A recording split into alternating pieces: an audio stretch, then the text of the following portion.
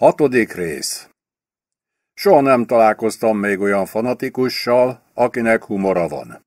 Ámosz Óz Huszadik fejezet Arról, hogy mit nem tesznek meg a királyok, és mit meg nem tesznek.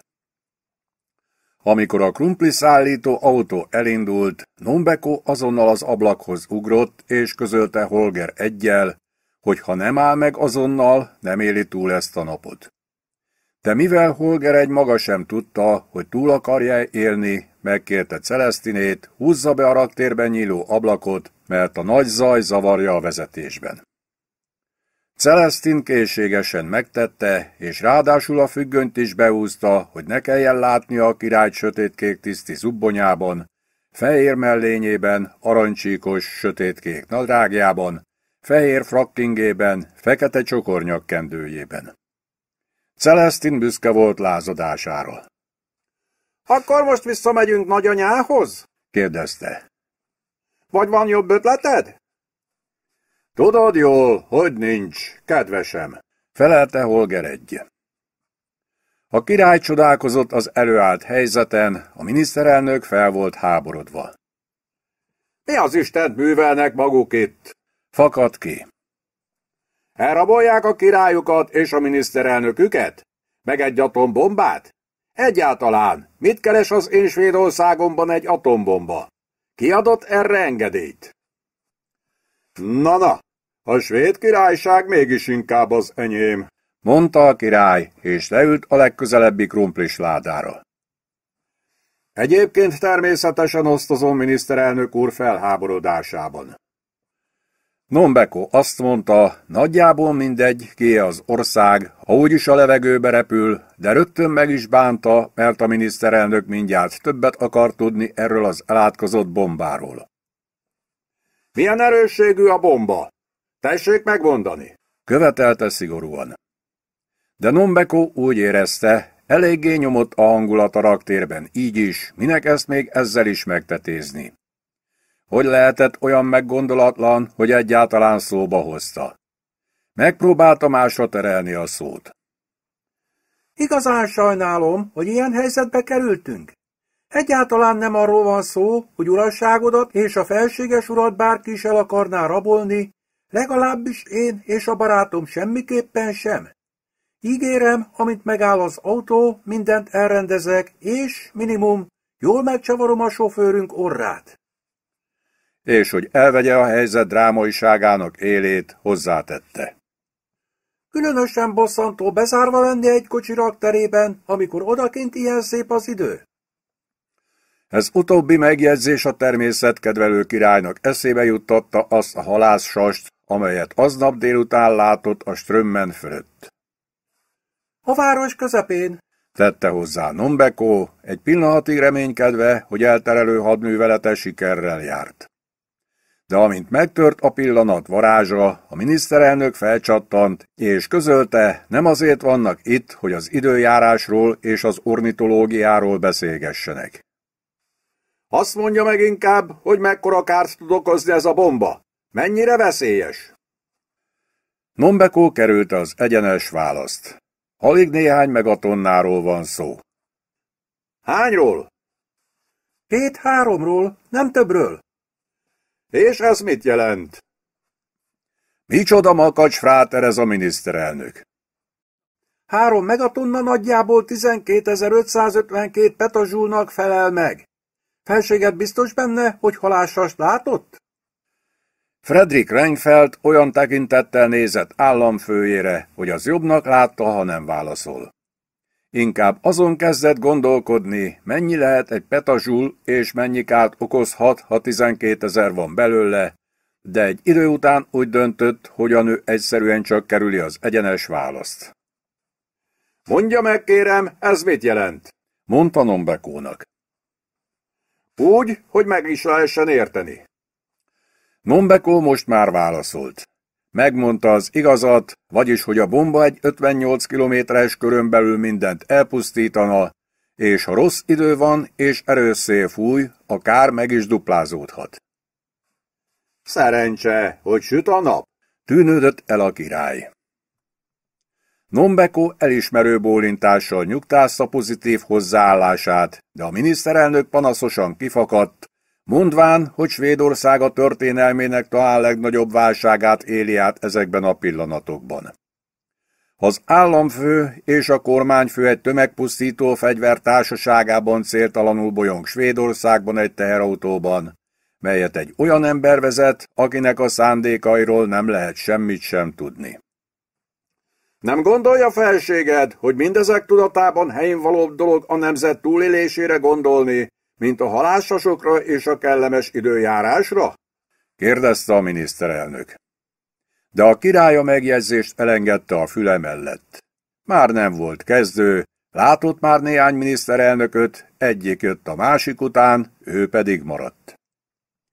Nincs különösebb baja ezzel az ujjal sem, csak nem kéne ennyit idegeskednie. Nyugalom, nyugalom, mondta. Fújja ki magát, és üljön le szépen közénk az egyik krumplis ládára, és kérjük meg az emberrabló urat és hölgyet, hogy adjanak valami magyarázatot erre az egészre. Tulajdonképpen földművelő szeretett volna lenni. Vagy markológépvezető. Vagy bármi, aminek valami köze van az autókhoz, vagy a természethez. Vagy legalább mind a kettőhöz. Ehelyett király lett. Ez persze önmagában még nem érte meglepetésként. Egy fiatalkori interjúban egyenes vonalként határozta meg az életét a születéstől a halálig, melynek állomásai ki vannak tűzve attól a pillanattól kezdve, hogy eldördült az első ágyúlövés abból a 42-ből, melyek a Skepsholmen felett megremegtették a levegőt 1946. április 30-án. Születésekor a Karl Gustav nevet kapta, a Kart anyai nagyapja Karl Eduard Szász Coburg és Gotha herceg után, aki izgalmas kombináció, angol és náci volt egyszerre, a Gustavot pedig apja, nagyapja és dédapja után. A kis herceg élete nagyon rosszul indult. Csak kilenc hónapos volt, amikor apja meghalt egy repülőbalesetben. Ezáltal drámai szakadék keletkezett az utódlási rendben. Nagyapjának a leendő hatodik Gustav Adolfnak 89 éves koráig életben kellett maradnia, ha nem akarta, hogy a trón átmenetileg üres maradjon, vagyis ha nem akart mint egy lovat adni a parlamentben ülő republikánusok alá. A tanácsadók véleménye szerint a kis trónörökösben kellett volna tartani a kastély ölnyi vastag falai között mindaddig, amíg a trónutódlás kérdése meg nem oldódik, de Szibilla, az érzőszívű anya ezzel nem értett egyet. Azt gondolta, ha az embernek nincsenek barátai, rossz esetben begolyózik, de jó esetben is minimum kezelhetetlenné válik. Így aztán a herceg rendes iskolába járt, és a szabadidejében áldozhatott a motorok iránti érdeklődésének, és részt vehetett a cserkész mozgalomban is, ahol megtanult matrós csomót, dupla nyolcast és kikötő csomót kötni mindenkinél jobban és gyorsabban. A Siktunai gimnáziumban viszont megbukott matematikából, és éppen csak átment az összes többi tantárgyból. Ennek az volt a magyarázata, hogy a betűk és a számok összefolytak a szeme előtt, vagyis a trónörökös diszlexiás. Az, hogy ő volt az osztály legjobb szájharmonikása, nem sok pluszpontot ért, legfeljebb csak a lányoknál. Szibilla mama gondoskodásának köszönhetően azért mégiscsak szert tett néhány barátraként az életben, és közülük ugyan senki nem tartozott a radikális baloldalhoz, mindenki más a hatvanas évek Svédországának tipikus gyermeke volt.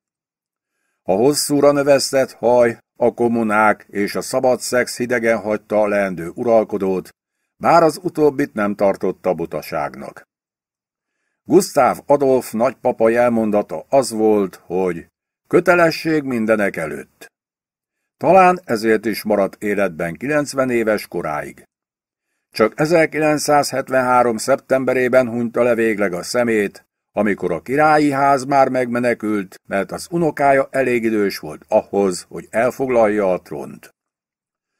Mivel az angol királynő nem feltétlenül a matrós csomókról vagy a szinkronizált sebességváltókról szeret beszélgetni, Az ifjú uralkodó nem mindig érezte jól magát a legfinomabb szalonokban.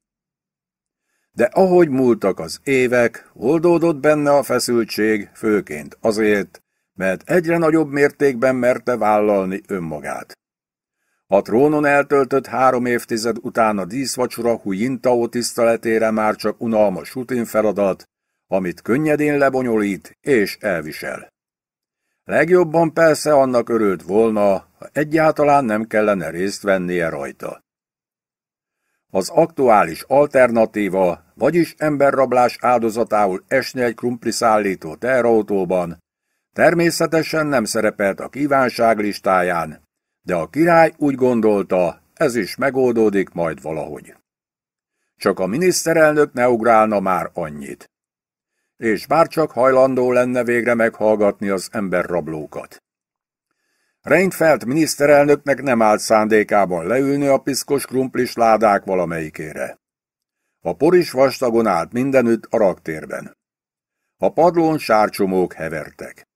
De ha mondani akarnak valamit, ő meghallgatja, annak semmi akadálya. Hát akkor tessék, fordult Holger kettőhöz. Lenne szíves beavatni abba, hogy mi történik itt? A hang udvarias, a hangsúly parancsoló, az irritáció a király viselkedése miatt változatlan. Holger kettő húsz éve készült már a miniszterelnökkel való beszélgetésre. Szinte végtelen sok változatban elképzelte a helyzetet, de olyan egyikben sem szerepelt, hogy össze van zárva vele egy krumpli szállító teherautóban. És egy bombával. És a volánnál a király gyűlölő testvérével. És ismeretlen cél felé robognak. Miközben Holger kettő a gondolatait és a szavait próbálta összeszedni, testvére a volán mögött fennhangon latolgatta, hogyan tovább. Ingmár papa kétségtelenül azt mondta neki, hogy gyerünk, édes fiam, indulj! De nem folytatta, más nem mondott.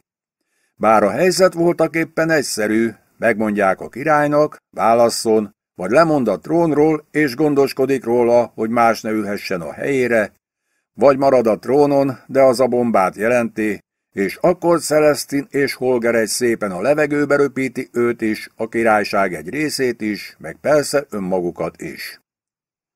Az én édes bátor kedvesem, fűzte hozzá Celestin Holger egy töprengéséhez. Végre itt állnak, minden barikádok legszebbikén. Gyönyörű nap, ilyenkor, ha kell, érdemes meghalni. A hátuk mögött a raktérben Holger kettő végül belekezdett a mondókájába. Azt hiszem, előről kell kezdenem a történetet, mondta. És beszélni kezdett Ingmár papáról, a testvéréről és saját magáról, arról, hogy egyikük a papa harcának folytatása mellett döntött, másikuk viszont most sajnos ott van, ahol van, és mondja, amit mond. Amikor befejezte, Nombeko is elmondta a saját élettörténetét, benne a voltak éppen nem létező bomba vándorútjának történetével, amiről a miniszterelnök akár azt is gondolhatná, hogy meg sem történt. Most azonban a biztonság kedvéért abból a kellemetlen lehetőségből kellene kiindulni, hogy megtörtént. A király eközben mindvégig arra gondolt, hogy kezd megéhezni.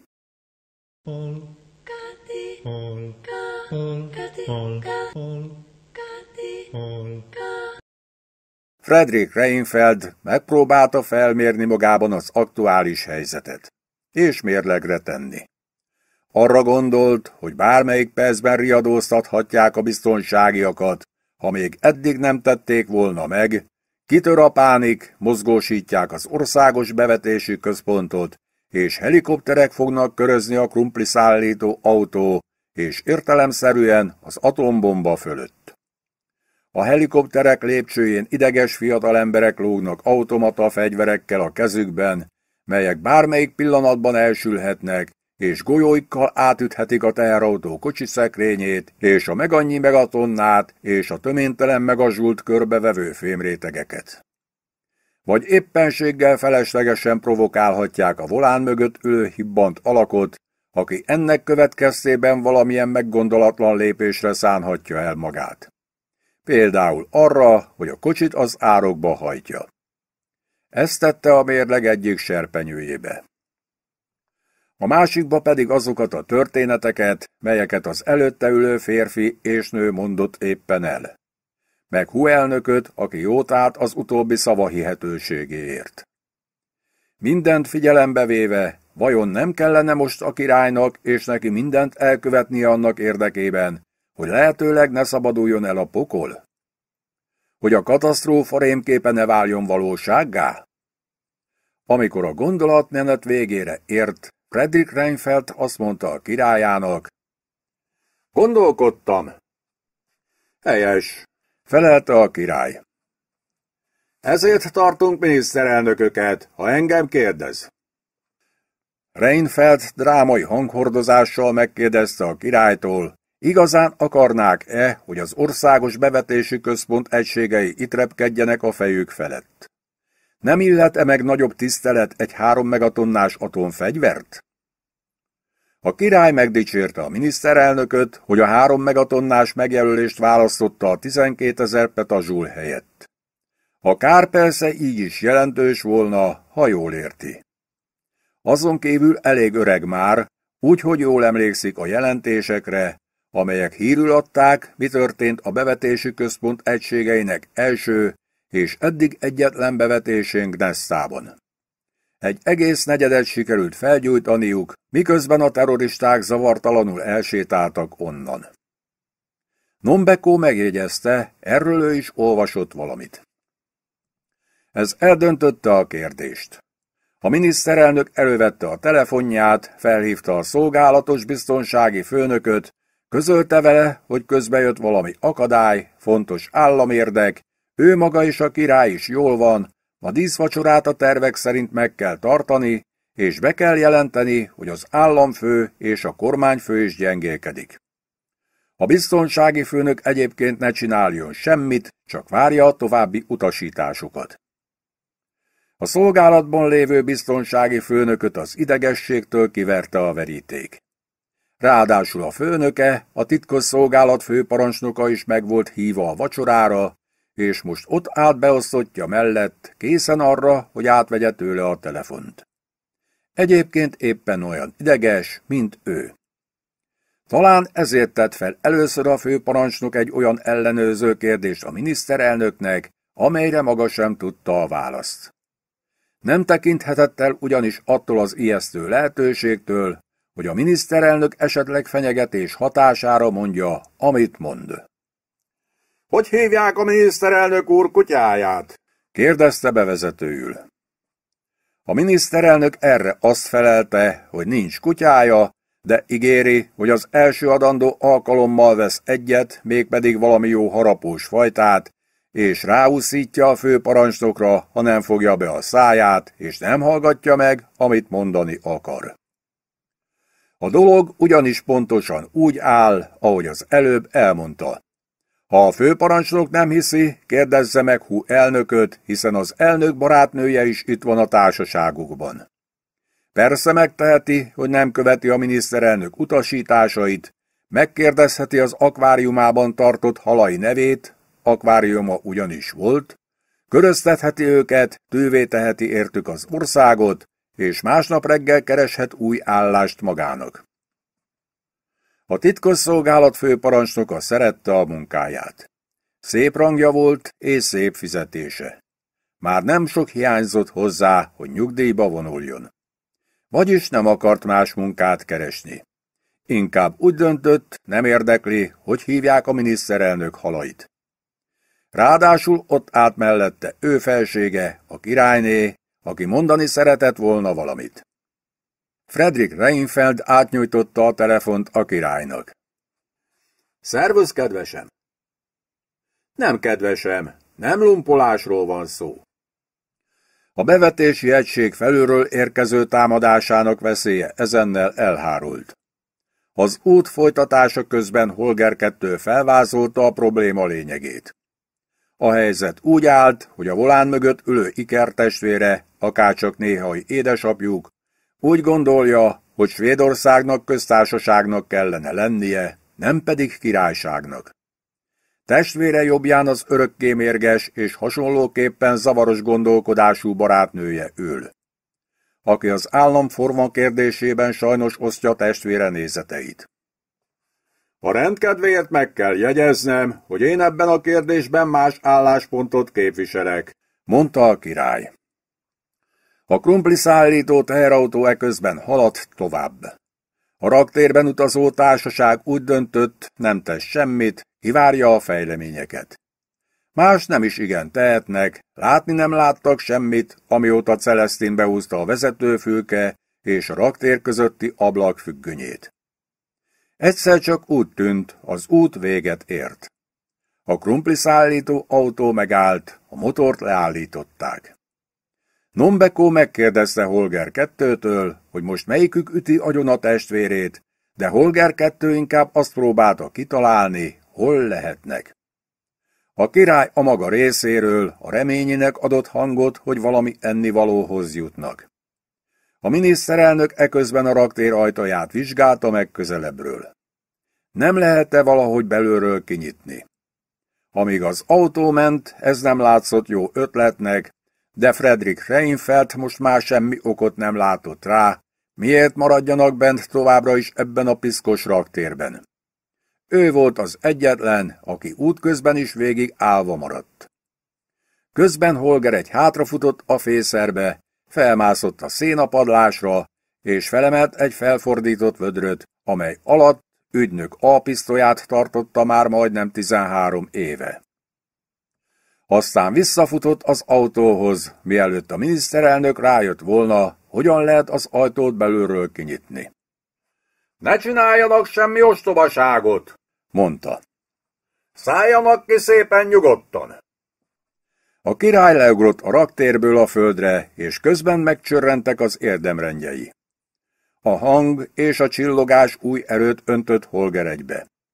Felemelt pisztolyjal jelezte, hogy itt most ő parancsol. Neked pisztolyod van? kérdezte Nombeko, és úgy döntött, későbbre halasztja Holger egy agyoncsapását és orrának megcsavarását. Mi folyik itt? Gertrud, aki az ablakból látta, hogy a társaság létszáma megnövekedett, megjelent a tornácon, kezében, mint zavaros helyzetekben mindig, Tapió papa szarvasölő puskájával. Egyre jobb lesz minden, mondta Nombeko.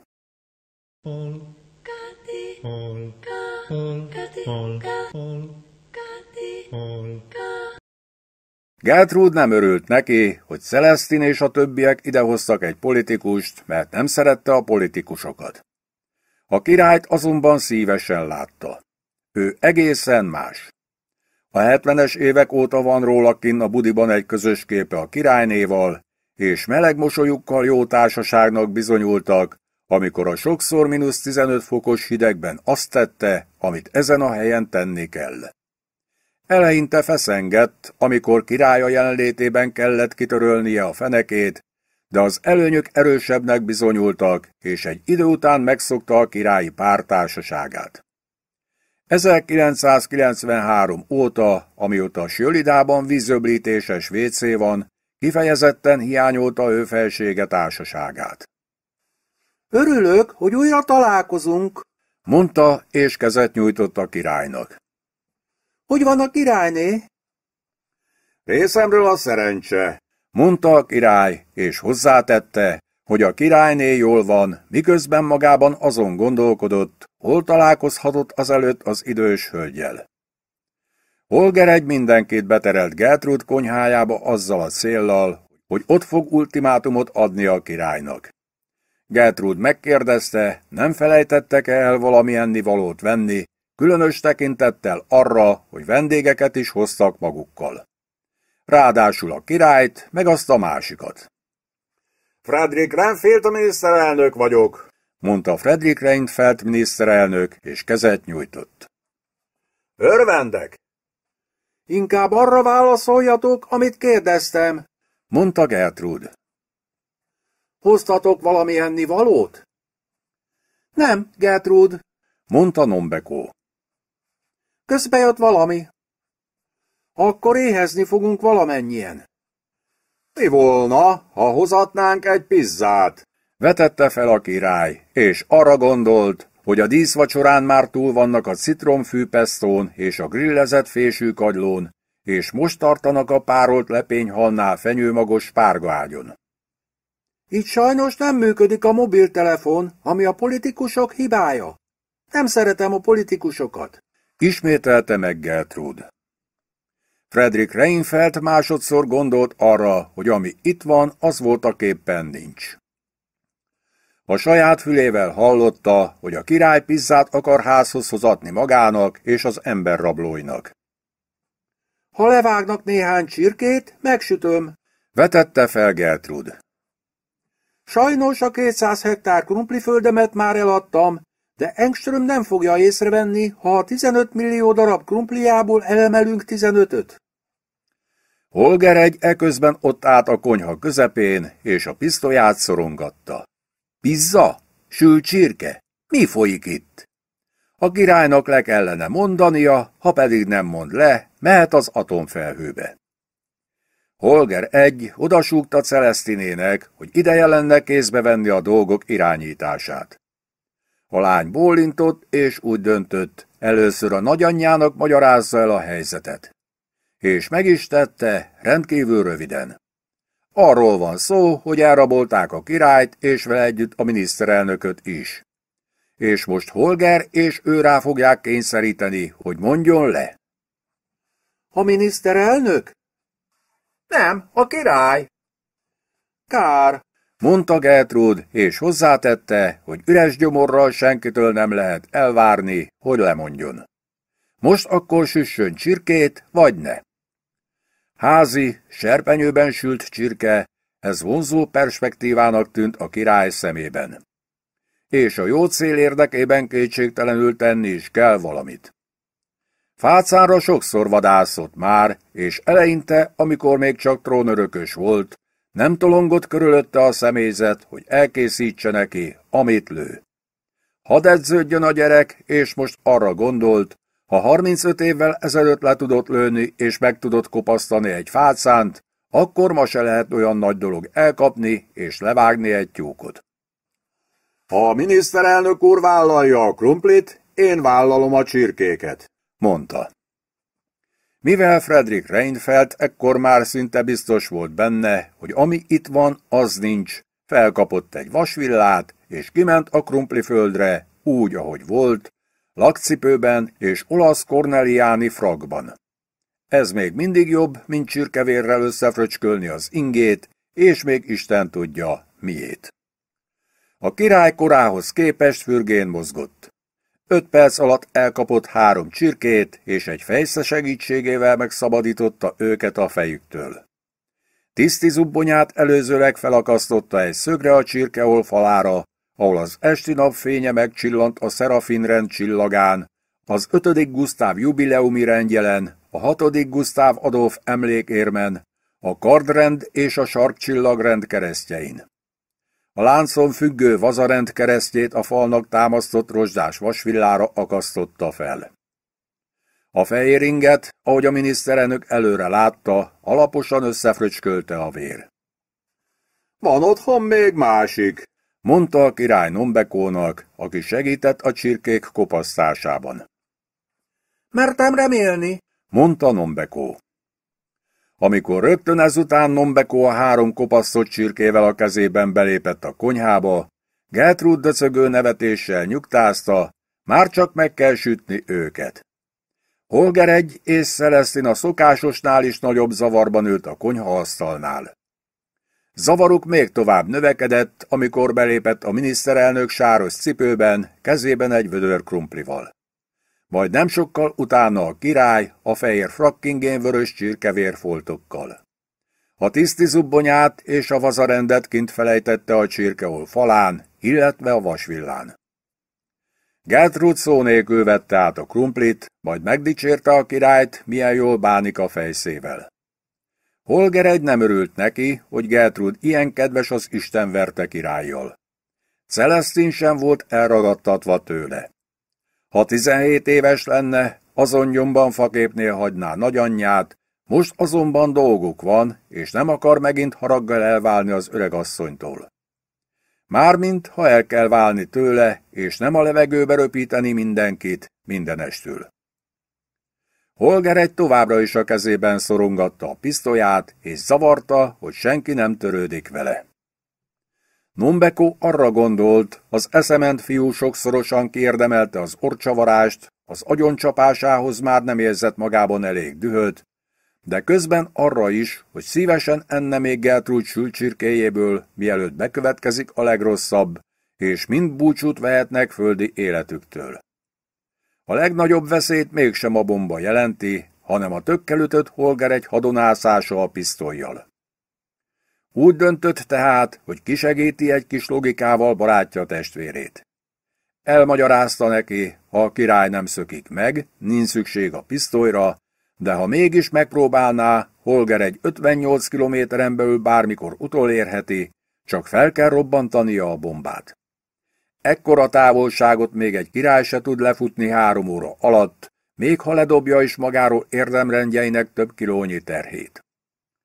Holger egynek nincs más tennivalója, mint hogy el kell dugnia a krumpli szállító teherautó kulcsát. Ha megteszi, Siolidán beáll a terror egyensúly. Senkinek nem kell fél szemével állandóan a másikat lesnie. Ehelyett nyugodtan megvacsorázhatnak. Holger egy elgondolkodva bólintott. Nombekó javaslata észszerűnek látszott. Az autó kulcsát már amúgy is bedugta egyik zokniába, pedig nem is tudta, milyen zseniális ötlet.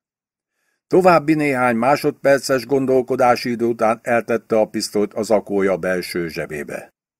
Anélkül, hogy bebiztosította volna.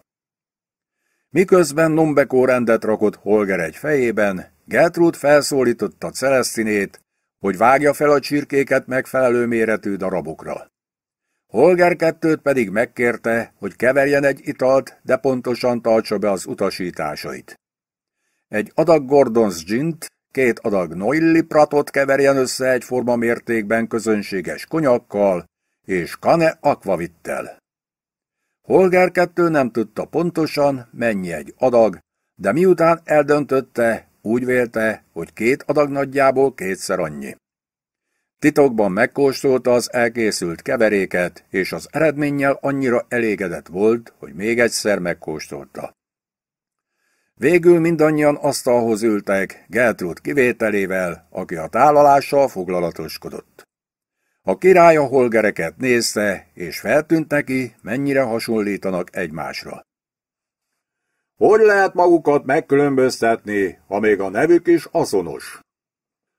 Az egyik lehetőség az, hogy akinél a pisztoly van, azt hülyének kell nevezni. Jelentette ki Holger kettő, nem minden elégedettség nélkül. Holger és a hülye. Igen, ez használható, mondta a király. Senki nem nevezheti az én holgeremet hülyének? Csattant fel Celestin. Miért nem? kérdezte Nombekó. A miniszterelnök úgy érezte, senkinek nem tenne jót, ha ebből vita kerekedne, úgy, hogy gyorsan közbevágott és megdicsérte Holger egyet a fegyver elrakásáért, ami viszont lehetőséget nyújtott Nombekónak arra, hogy megvilágítsa a fennálló egyensúly természetét. Ha elkapjuk Holger egyet, akit a barátnője jelenlétében nem nevezünk hülyének, de egyébként igen, és hozzákötözzük egy fához, akkor megnő a kockázata annak, hogy a barátnője felrobbantja a bombát. Ha viszont őt is oda kötjük a barátja mellé a fához, ki tudja, mit tenne a lány nagymamája a medvölő puskájával. Gertrud, mondta a király elismerően. Ha bántani merészelik az én kis szelesztinémet, nem állok jót magamért, meg a puskámért, jelentette ki Gertrud. Tessék, hallhatják a saját fülükkel, mondta Nombekó. A pisztolyra nincs szükség, és ezt nemrég még a hülyével is meg tudtam értetni. Tálalva van, jelentette be Gertrud.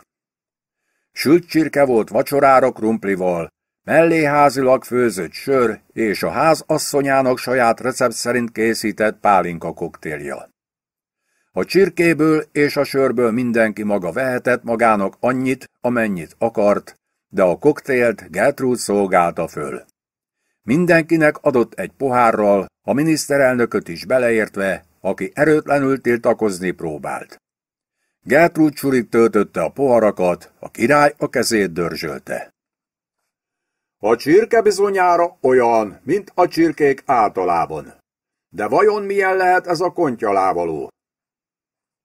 A király egészségére, mondta Gertrud. És a miénkre nem? kérdezte Celestin. A tiétekre is, természetesen. Gertrud kiürítette poharát. A király és Holger kettő követte példáját. A többiek óvatosan belekortyoltak, kivéve Holger egyet, aki nem tudta rávenni magát, hogy a király egészségére igyon, és a miniszterelnököt, aki egy virágcserébe öntötte a pálinkáját, amikor senki nem nézett oda. Ez Mannerheim marsal? Esküdni mernék rá? Állapította meg a király elismerően csettintve. Senki nem értette, miről beszél, csak Gertrud. Eltalálta! Ez aztán a király! mondta Gertrud. Megkínálhatom egy másodikkal az egyensúly kedvéért? Holger egyet és Celestinét egyre jobban megviselte, hogy Gertrudot mennyire elbűvöli az az ember, akiknek ők a lemondását követelik. És aki ráadásul vérfoltos frakkingben és feltűrt ingújjal ült az asztalnál, nem a tiszti egyenruhájában. Holger egy nem szerette, ha nem ért valamit, pedig volt benne gyakorlata. Miről van szó? kérdezte. Arról, hogy a barátod, a király, felismerte a világ legjobb pálinka koktélját. Mondta Gertrud. Nem a barátom, mondta Holger egy.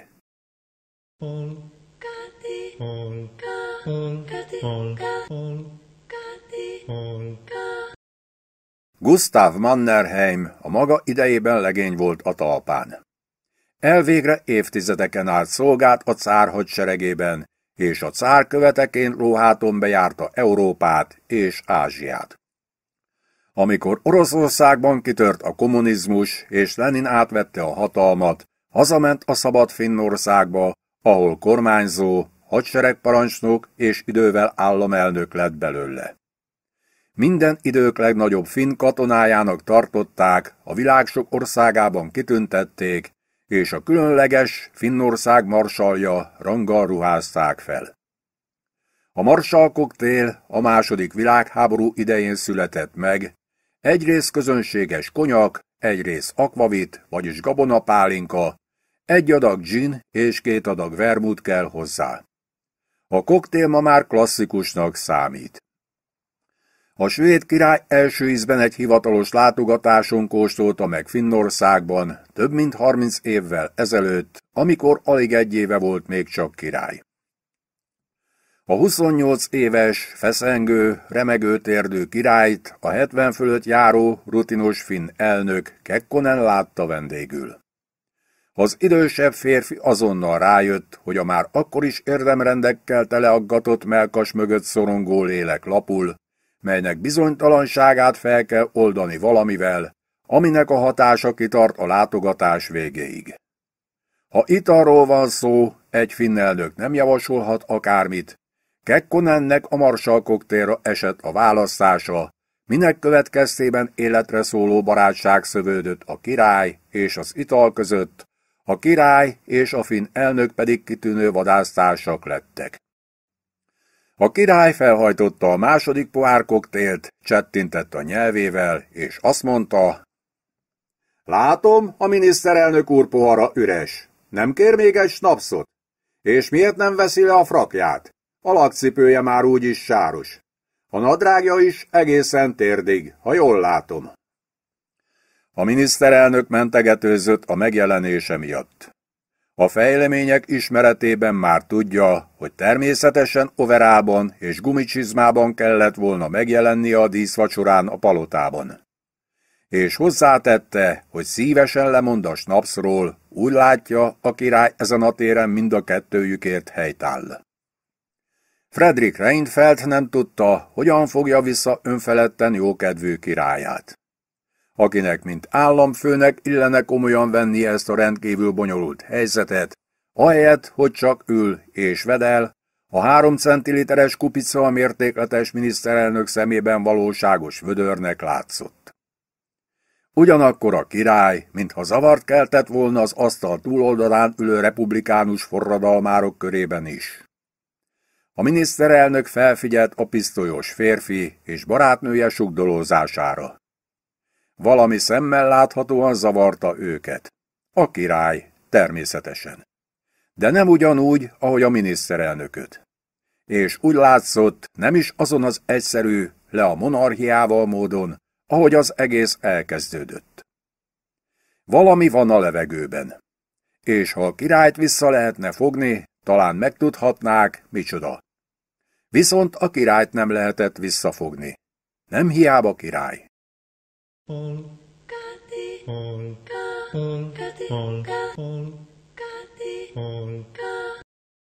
Nombekó volt az első, akinek üres lett a tányérja. Végül is 25 éves volt, amikor életében először telehette magát Bota elnök költségére, és azóta minden alkalmat megragad, hogy újra megtehesse. Szabad repetázni? Szabad. Gertrud elégedetten nézte, hogy Nombekó elégedett. Gertrud általában véve is mindennel elégedettnek látszott. A király teljesen levette a lábáról. Ki tudja, mivel? Önmagával. Mannerheim marsallal. Vagy az italával. Vagy mind a kettővel.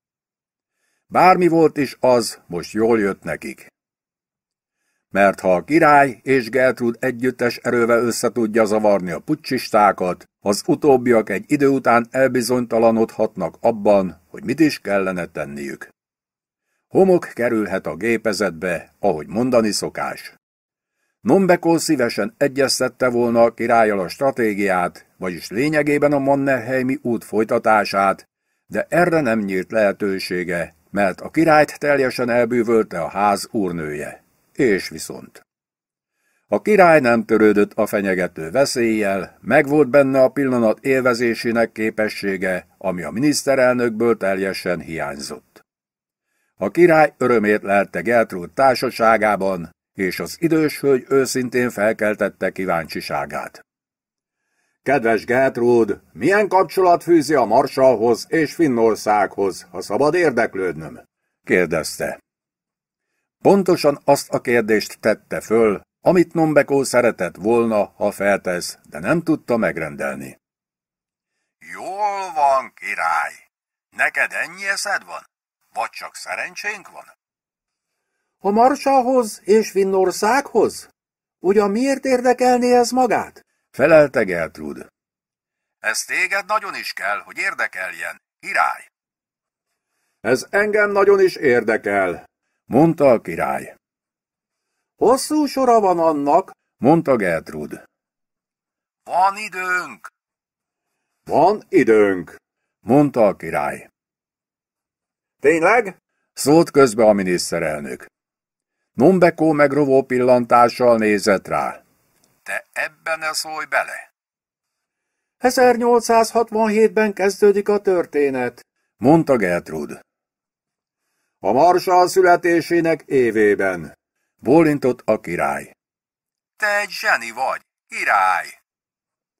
Na hát, ezt is tudja? Kiáltott fel Gertrud. Bizony, a marsal abban az évben született. Nombeko arra gondolt, hogy Gertrud családfájának története most is épp olyan botanikai abszurd, mint amikor először hallotta. De a királynak egyáltalán nem szekte a kedvét hiszen valamikor régen a Siktunai gimnáziumban megbuktatták matematikából. Vélhetőleg ezért nem tudtak kiszámolni, hogy egy bárónak akár igazi, akár nem, nem lehet grófnő az utódja. Akkor kegyed grófnő, mondta a király elismerően. Biztos az? kérdezte a miniszterelnök, aki jobban tudott számolni, és aki ezért újabb megrovó pillantást kapott Nombekótól. Holger egy és Celestin tényleg úgy érezte, valami nincs rendben a királlyal. Nem értették, mi lehet az oka. A vérfoltos inge? A feltört ingúja? Az arany manzsetta gombja, amit egyszerűen beletett egy üres pálinkás pohárba a konyhaasztalon? Az érdemrendekkel kidekorált tiszti zubbonya, amit felakasztott a csirkeol falára? Vagy csak az, hogy levágott három csirkét? A királyok nem vágnak csirkét, ki hallott már ilyet? A miniszterelnökök sem szednek krumplit, legalábbis frakban nem, de azért mégiscsak a királyok azok, akik általában nem szoktak csirkét nyakazni.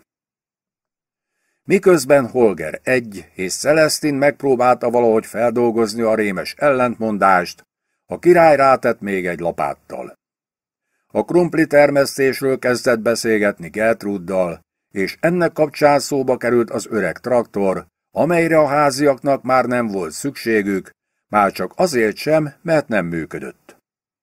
Gertrud leírta a problémát királyának, aki azt felelte, hogy az MF-35-ös remek típus csak kicsit kényeztetni kell, ha azt akarjuk, hogy működjön. Ki kellene tisztítani az üzemanyag szűrőjét és a porlasztó csúcsát. Ha az akkuja még nem merült le teljesen, a tisztítás után még be is lehet indítani. Üzemanyag szűrő? Porlasztó csúcs? A királyok nem bütykölnek traktorokat? A vacsora véget ért. A kávé után a király és Gertrud kettesben kisétált, hogy megnézzék az MF-35-öst, majd visszatértek egy utolsó, közös Mannerheimre. Reinfeldt miniszterelnök közben leszette az asztalt, és rendet rakott a konyhában. Hogy a frakját lehetőleg ne piszkolja össze, maga elé kötötte a grófnő kötényét. Holger egy suttogva beszélgetett Celestinével az egyik sarokban, míg Holger kettő ugyanezt tette Nombekóval egy másik sarokban. A helyzetet elemezték, és azon gondolkodtak, mi legyen a következő stratégiai lépés. Ekkor kivágódott az ajtó. Idősebb férfi lépett be rajta pisztolyjal a kezében. Angolul kiáltott rá a jelenlévőkre, hogy mindenki maradjon ott, ahol van, és ne tegyen semmilyen felesleges mozdulatot. Mi folyik itt? kérdezte a miniszterelnök a mosogató kefével a kezében. Nombeko angolul válaszolt. Elmondta, hogy az izraeli moszat behatolt a házba azzal a céllal, hogy megszerezze a krumpli szállító autóban lévő atombombát. Hilipate hilipate hilipate hilla hilipate hilipate hilipampa Ali tuli jalla tali tuli jalla tili tali tili tali tili tanta Ali tuli jalla tili tuli talla tili tili tili tili tili tili talla Ali tuli tili tali jalla ti jallan tili tali tali tali helilanta Rimpati ralla ripirapi ralla rumpati ruppar ripirampu Jakkaritta rippari lapalan tuli tuli lallan tivirantu Jatsatsapari dikkari lallan tikkari dillan standulla dipidapidalla ruppati rupiran kurikan ja kirikanku. 21. fejezet Az elvesztett lélek jelenlétről és a testvérét lelövő ikerről. 13 év hosszú idő, ha íróasztalnál kell eltölteni értelmes munka nélkül. Most azonban ügynök B maga mögött hagyta aktív pályájának utolsó napját. 65 éves volt és 9 napos. Kilenc nappal ezelőtt mandulatortával és búcsúbeszéddel köszöntötték fel nyugdíjba vonulása alkalmából. Főnöke szép beszédet mondott, de amit mondott, nem volt igaz, és ügynök szájában megkeseredett a mandulatorta. Nyugdíjas élete első hetének végén elhatározta, hogy elutazik. Összecsomagolt és elindult Európába. Svédországba. A takarítónő esete, aki eltűnt az Izrael által becsületesen ellopott bombával, nem hagyta nyugodni, még most idős korában sem. Ki ez a nő tulajdonképpen? A lopáson kívül valószínűleg őt terheli a felelősség barátja haláláért is. A nyugdíjas ügynök B voltaképpen nem értette, hogy az ügy miért nem hagyja nyugodni. De tény, hogy nem hagyta. Több türelemmel kellett volna figyelnie azt a bizonyos stokholmi postafiókot. És fel kellett volna kutatni a Celestin Headland nagyanyját is, ha lett volna rá ideje. Hosszú idő eltelt már azóta, és a nyom kezdettől fogva gyengének látszott. de mégis. A nyugdíjas ügynök úgy gondolta, először megnézi magának azt a Nortaljétől északra fekvő erdei címet. Ha ott nem talál semmit, akkor három héten át figyelni fogja a postafiókot. Ha mindezt megteszi, tényleg nyugdíjba vonulhat. Tudni akkor se fog tudni semmit. De legalább úgy érezheti, hogy megtett mindent, amit meg lehetett tenni. Veszíteni olyan ellenféllel szemben, aki jobb nálunk, elviselhető. De feladni a versenyt, mielőtt lefújnák a játékot, azt nem lehet. Michel Ballak soha nem tenne ilyet. Az FC Karl két lábas csatárának pályája egyébként a nemzeti válogatottig évelt, melynek ő lett a csapatkapitánya. Ügynök B-gépe az Arlanda repülőtéren szállt le. Autót bérelt, és egyenesen Celestin Headland nagyanyjához hajtott. Arra számított, sőt, azt remélte, hogy a ház üresen áll, és le van lakatolva. Igazából a lelki békéjét kereste, nem a bombát. A nagymama háza előtt azonban egy krumpli szállító teherautó parkolt, a háznak pedig minden ablakában égett a villany. Mit keres itt egy krumpli szállító autó? És vajon mi lehet benne? Az ügynök kiszállt a kocsijából, odament a teherautóhoz, belesett a raktérbe, és meglátta a múltat. A raktérben ott állt a láda a bombával, ugyanúgy megperzselődve, ahogy utoljára látta. Ha a világ ennyire őrült, gondolta az ügynök, megnézi, nem hagyták-e bent a kocsiban az indítókulcsot is. De ennyire azért nem volt szerencséje.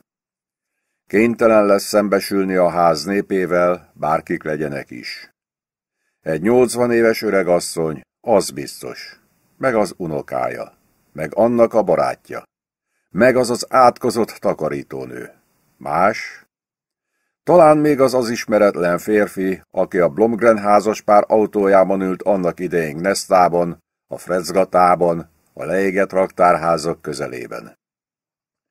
Ügynök B. elővette szolgálati fegyverét, melyet nyugdíjas utazására készülődve véletlenül magával hozott, és óvatosan lenyomta a kilincset. Az ajtó nyitva volt. Csak be kellett lépni rajta. Fredrik Reinfeld mosogató kefével a kezében, azon gyomban megkérdezte, mi folyik itt. Nombeko angolul válaszolt, és megmondta az igazat, vagyis, hogy az izraeli Mossad behatolt a házba azzal a céllal, hogy megszerezze a krumpli szállító autóban lévő atombombát és talán még azzal a céllal is, hogy kioltsa a jelenlévők egyikének vagy másikának életét. E tekintetben talán épp ő maga az egyik legesiesebb jelölt. Az izraeli Mossad? kérdezte a miniszterelnök, szintén angolul. Milyen jogon hadonászik a fegyverével az izraeli Mossad az én Svédországomban? Az enyémben, javította ki a király. A magas Védországában? Csúszott ki szinte önkéntelenül ügynök B száján a kérdés, és felváltva nézett hol a kötényt viselő, mosogató kefét szorongató férfira, hol a konyhapadon ülő, véres inget viselő és üres pálinkás poharat szorongató férfira. Fredrik Reinfeldt miniszterelnök vagyok, mondta a miniszterelnök. Én pedig 16. Károly Gusztáv király, mondta a király. Úgy is mondhatnám, a miniszterelnök főnöke. Ő nagysága pedig Virtanen grófnő, a ház úrnője. Valóban az vagyok, köszönöm, mondta büszkén a grófnő. Fredrik Reinfeldt majdnem ugyanolyan mérges lett, mint néhány órával korábban a krumpli szállító autóban, amikor rájött, hogy elrabolták. Tegye el azonnal azt a fegyvert, különben felhívom Olmert miniszterelnököt, és tőle kérdezem meg, mi a fene van itt. Gondolom, az ő megbízásából van itt. Ügynök B. úgy érezte, mintha megállt volna a szív működése. Nem tudta, mi rosszabb, hogy a kötényes, mosogatókefés férfi azt állítja magáról, hogy miniszterelnök, hogy a véres inkben üldögélő és pálinkázó férfi azt állítja magáról, hogy király, vagy az a tény, hogy felismerni véli mind a kettőt. Ez a két ember valóban a miniszterelnök és a király. Itt az erdő közepén, egy dőlőút végén, a svédországi Rosszlagenben. Az izraeli Mossad ügynökei soha nem veszítik el lélek jelenlétüket. Ügynök B-vel azonban most mégis ez történt. Elvesztette a lélek jelenlétét. Leeresztette a karját. A fegyvert visszadugta az akója alá a tokjába, és azt mondta. Kaphatnék valamit inni? Milyen szerencse, hogy még nem tettük el az üveget, mondta Gertrud. Ügynök béleült a király mellé, és mindjárt a kezébe nyomtak egy kupica marsal koktélt. Felhajtotta, megborzongott, és hálás pillantással nyugtázta, hogy újra teletöltik a poharát. Mielőtt Reinfeldt miniszterelnök kérdések sokasságával rohanhatta volna le a betolakodót, Nombeko ügynök B-hez fordult, és javasolta, hogy együtt mondják el Reinfeldt főnök úrnak és az ő főnökének, a királynak a történetüket. Pelindabától kezdve mostanáig. Ügynök B erőtlenül bólintott.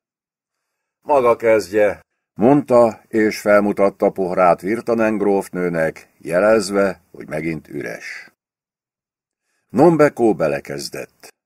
A király és a miniszterelnök már hallotta a rövid változatot, amikor a bomba társaságában utaztak a teherautó rakterében. Nombekó most részletesebben mondta el a történetét. A miniszterelnök élénk érdeklődéssel követte, miközben egy nedves ruhával letörölte a konyhasztalt és a mosogatópultot. Az elragadtatott grófnő és a kevésbé elragadtatott ügynök között ülő király is érdeklődve hallgatta. Nombekó Szovetóval kezdte, aztán Tabó gyémántjaival folytatta, majd a gázolása történetével Johannesburgban. A bírósági eljárással, az ítélettel. Bemutatta a klipdrift függő mérnököt. Pelindabát, az árammal töltött kerítéseket. A dél-afrikai nukleáris fegyverprogramot. Az izraeli jelenlétet. Ezt nem erősíthetem meg, mondta ügynök B. Ne vicceljen már, mondta Nombekó. Ügynök B elgondolkodott. Az ő életének így is, úgy is vége. Vagy börtönbe zárják Svédországban, és ott marad életfogytiglan, vagy a miniszterelnök felhívja Ehud Olmertet. Ügynök B az életfogytiglanit választotta. Meggondoltam magam, mondta. Megerősíthetem. A történet további részében több mindent meg kellett még erősítenie.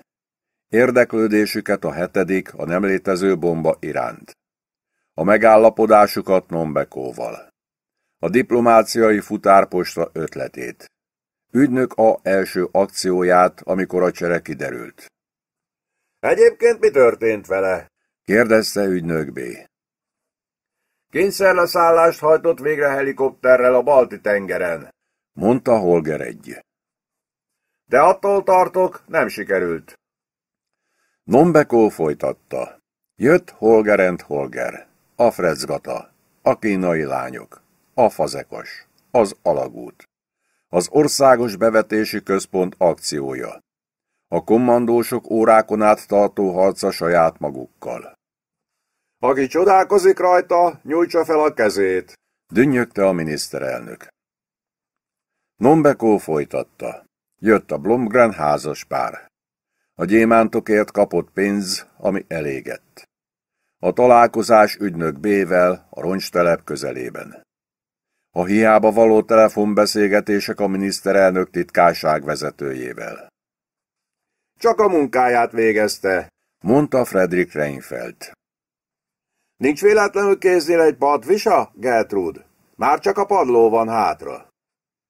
Grófnő, ha szabad kérnem, szólt közbe a király. Nombekó folytatta. Jött a krumpli termesztés. Holger kettő egyetemi tanulmányai. A hülye beugrása a doktori védésen. A hülye? kérdezte ügynök B. Az én vagyok.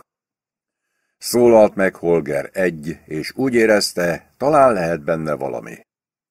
Nombeko folytatta. Jött a Swanks Politik című folyóirat. Jó lap volt, mondta a miniszterelnök. Az első száma. A másodikban kiírta a szerkesztőségi cikket. Ne, egyébként nem mondják meg. Hadd találjam ki. Nombeko már majdnem a végére ért. Befejezésül elmondta, milyen szerepet kapott Huyintau. Hogyan vonta magára az elnök figyelmét a palota udvarán. És hogyan rabolta el őket ezután Holger egy, az őshülye. Ügynök B felhajtotta a harmadik kupica pálinka koktélt, és úgy érezte, kellőképpen elbódult. Előadta a saját történetét, a születésétől kezdve. Az ügyet, amely nyugdíjazása után nem hagyta nyugodni. Utazását Svédországba. Egyáltalán nem Olmert miniszterelnök megbízásából. Az egész a saját kezdeményezése volt. És hogy már mennyire bánja. Micsoda gebasz! Kiáltott fel a király, és felnevetett.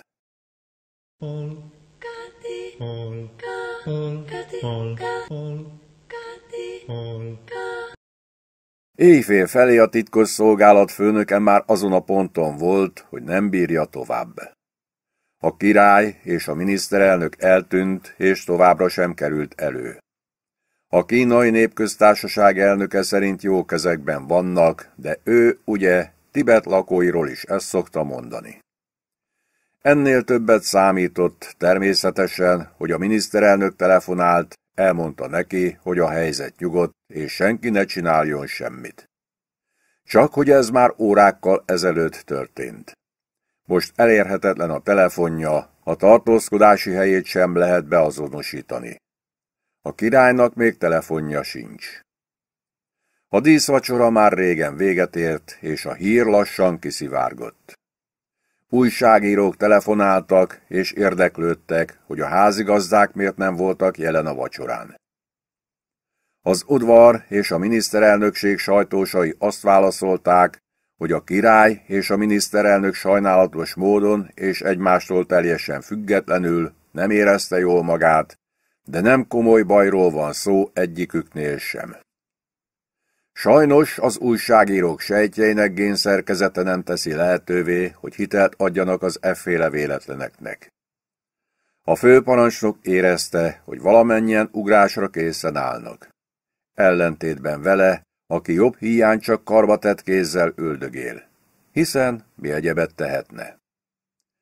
Néhány diszkrét lépést tett csupán, beszélt például az Országos Bevetési Központ parancsnokával. Nem mondta meg neki, miről van szó, csak annyit közölt vele, hogy a közeljövőben kényes helyzet állhat elő, melyben behatolási és kiszabadítási műveletet kellene végrehajtani. Valami olyasmit, mint jó évtizeddel ezelőtt Gnesztában. Svédország békés ország. A különleges egység bevetésére legfeljebb, ha 10-15 évente van szükség. A bevetési központ parancsnoka nem kevés büszkeséggel a hangjában közölte, hogy Gnesta jelentette az első és egyetlen feladatot eddigi pályafutása során, és ő és egysége, mint mindig, most is készen áll a bevetésre. A titkosszolgálat főnöke nem vett részt abban az akcióban, amikor Gnesta egyik negyede leégett. És nem olvasta az ügyről kiadott jelentéseket sem. A bevetési egység készenléte jóleső biztonságérzéssel töltötte el. Csak az okozott fejfájást neki, hogy a király és a miniszterelnök sikeres kiszabadításának hiányzott az egyik legalapvetőbb feltétele. Nevezetesen az, hogy nem lehetett tudni, hol az ördögben vannak.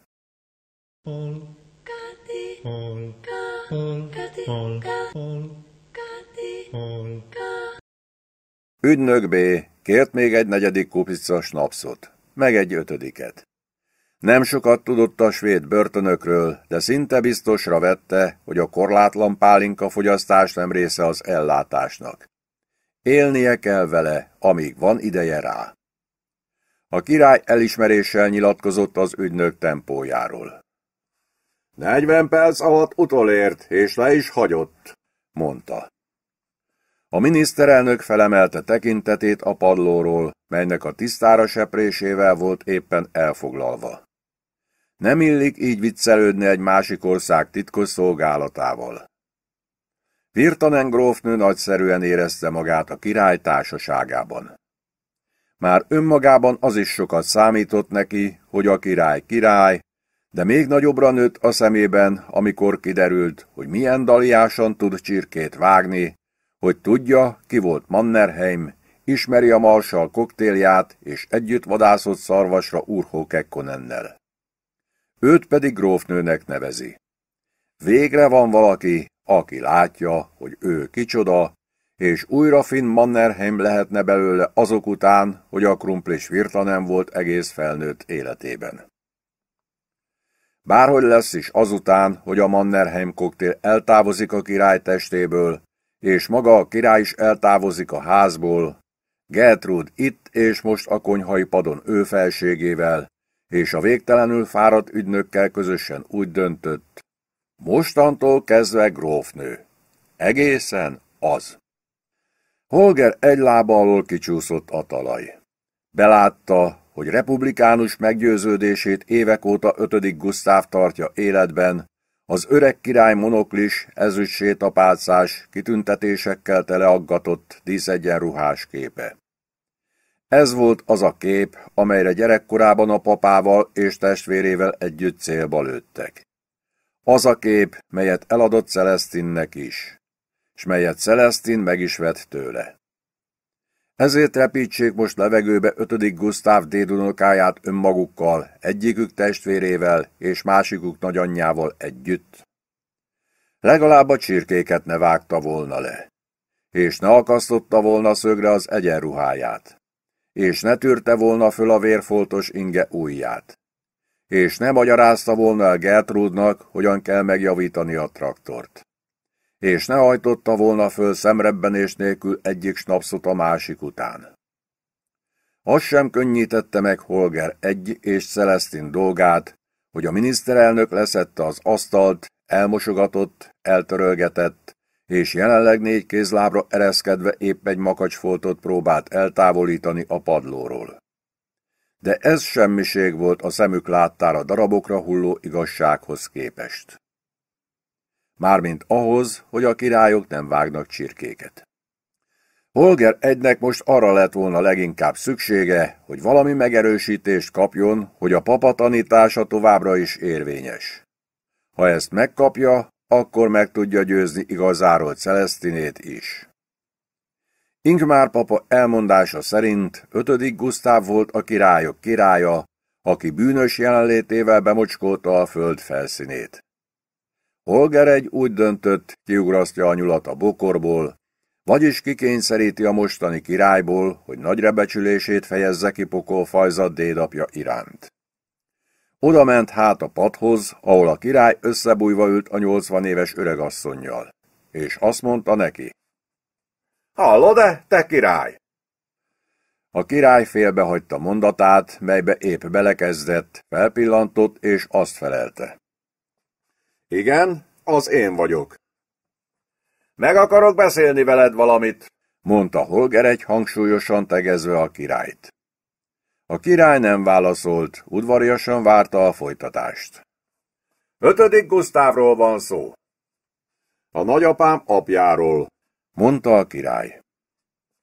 Igen, akinek éppen ezért az örököse vagy, mondta Holger egy, maga sem értve igazán, mit is akart ezzel valójában mondani.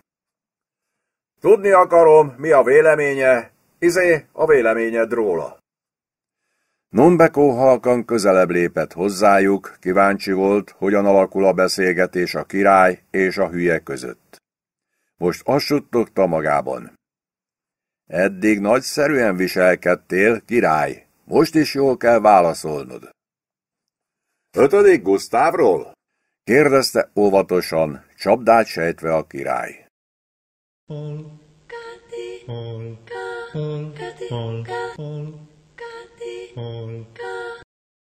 A király végigfuttatta gondolatait ősei hosszú során.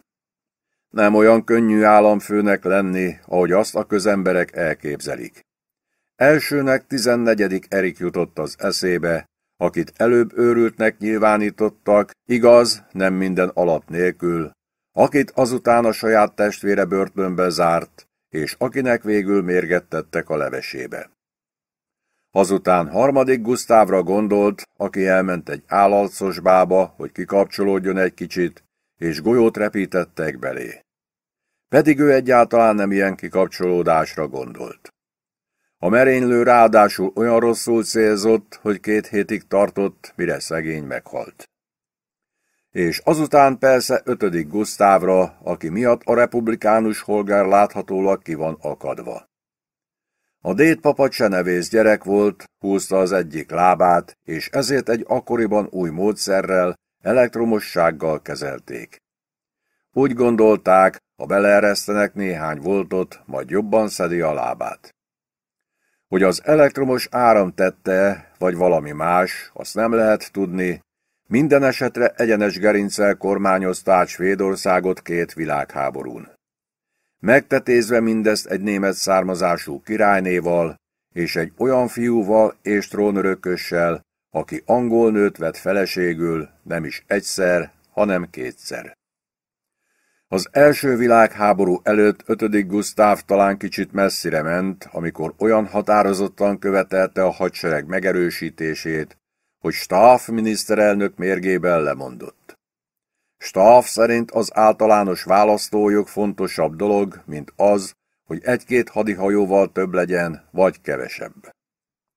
Az, hogy Dét papa ezt nem sokkal a szarajevói pisztoly eldördülése előtt követelte, vagyis, hogy igaza volt, senkit nem érdekelt, mert a királytól leginkább azt várják el, hogy hallgasson. Ez utóbbit maga is megtapasztalta, amikor Brunei szultánját belevaló fickónak merte nevezni. Na mindegy. Dét papa majdnem 43 évig uralkodott, és ügyesen alkalmazkodott kora minden politikai áramlatához. Az is nagy szó, hogy megmaradt a monarchia, hiszen amikor egy szép napon bevezették, hogy boldog-boldogtalan szavazhat, az újításnak az lett a szomorú eredménye, hogy a szociáldemokraták szerezték meg a hatalmat. A várt forradalom azonban elmaradt, és Hanson miniszterelnök annyira republikánus volt, hogy esténként néha feloldalgott a palotába bridgezni. Az igazság tehát az, hogy dédpapa elsősorban is a monarchia megmentője.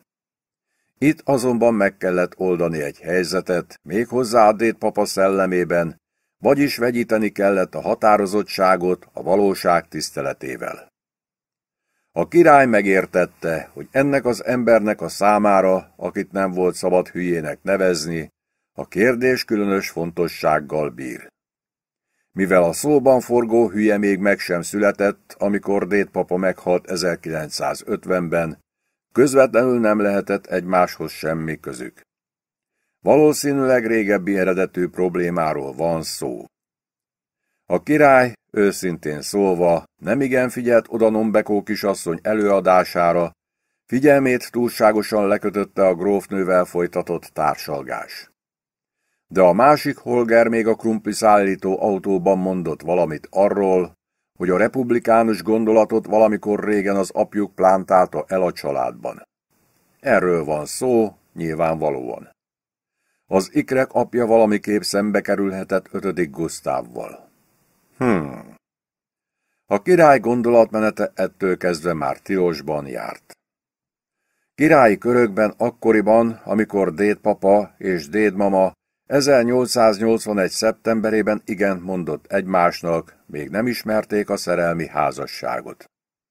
Ennek ellenére dédpapa nagyon elszomorodott, amikor királynéja gyógyulást keresve a meleg éghajlatú Egyiptomba utazott, és ott egy beduin sátorban pikáns kalandba bonyolódott az udvar alkalmazásában álló egyik közönséges báróval. Ráadásul Dánnal. Azt mondják, attól a naptól kezdve a királyt nem érdekelték többé a nők. Hogy a férfiakkal hogy állt, azt nem lehet tudni. Az évek során mindenfélét rebesgettek az emberek. Egy zsarolás története is szányra kapott, amely szerint egy szélhámos pénzt követett a királytól egy olyan időszakban, amikor a homoszexualitás büntetendő volt és veszélybe sodorhatta volna a monarchiát. Az udvar mindent elkövetett, hogy a szélhámos megkapja, amit kér, és legfőképpen csendben maradjon. Adtak neki egy kis pénzt, aztán még egy kicsit, aztán megint még egy kicsit. Segítettek neki, hogy vendéglőt és szállodát nyisson.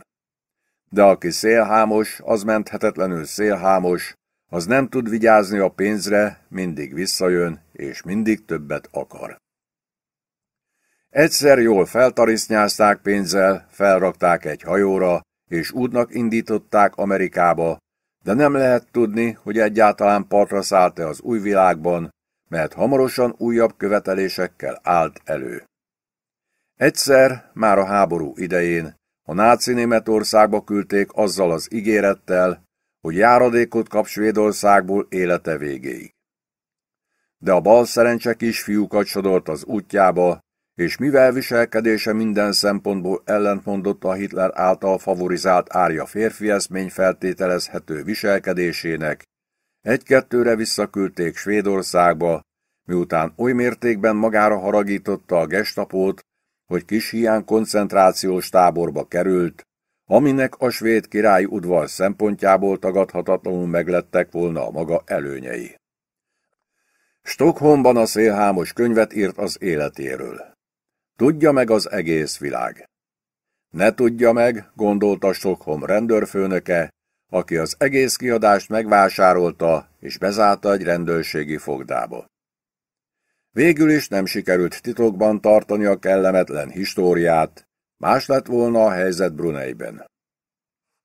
A társadalom ezt már megelégelte, és a viselt dolgaért összesen nyolc év börtönre ítélte a szélhámost.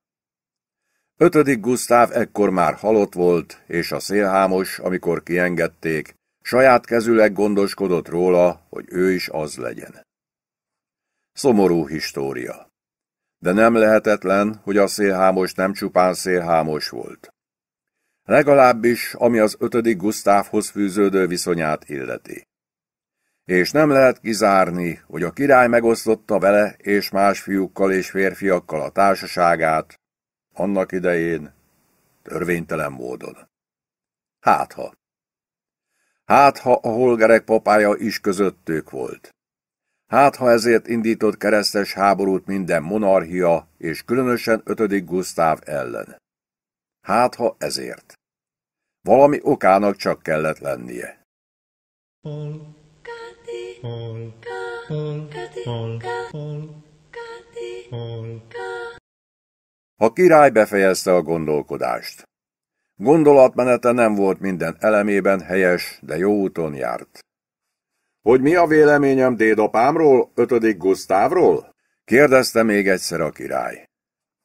Nyögd már ki, az Istenit neki, mondta Holger egy.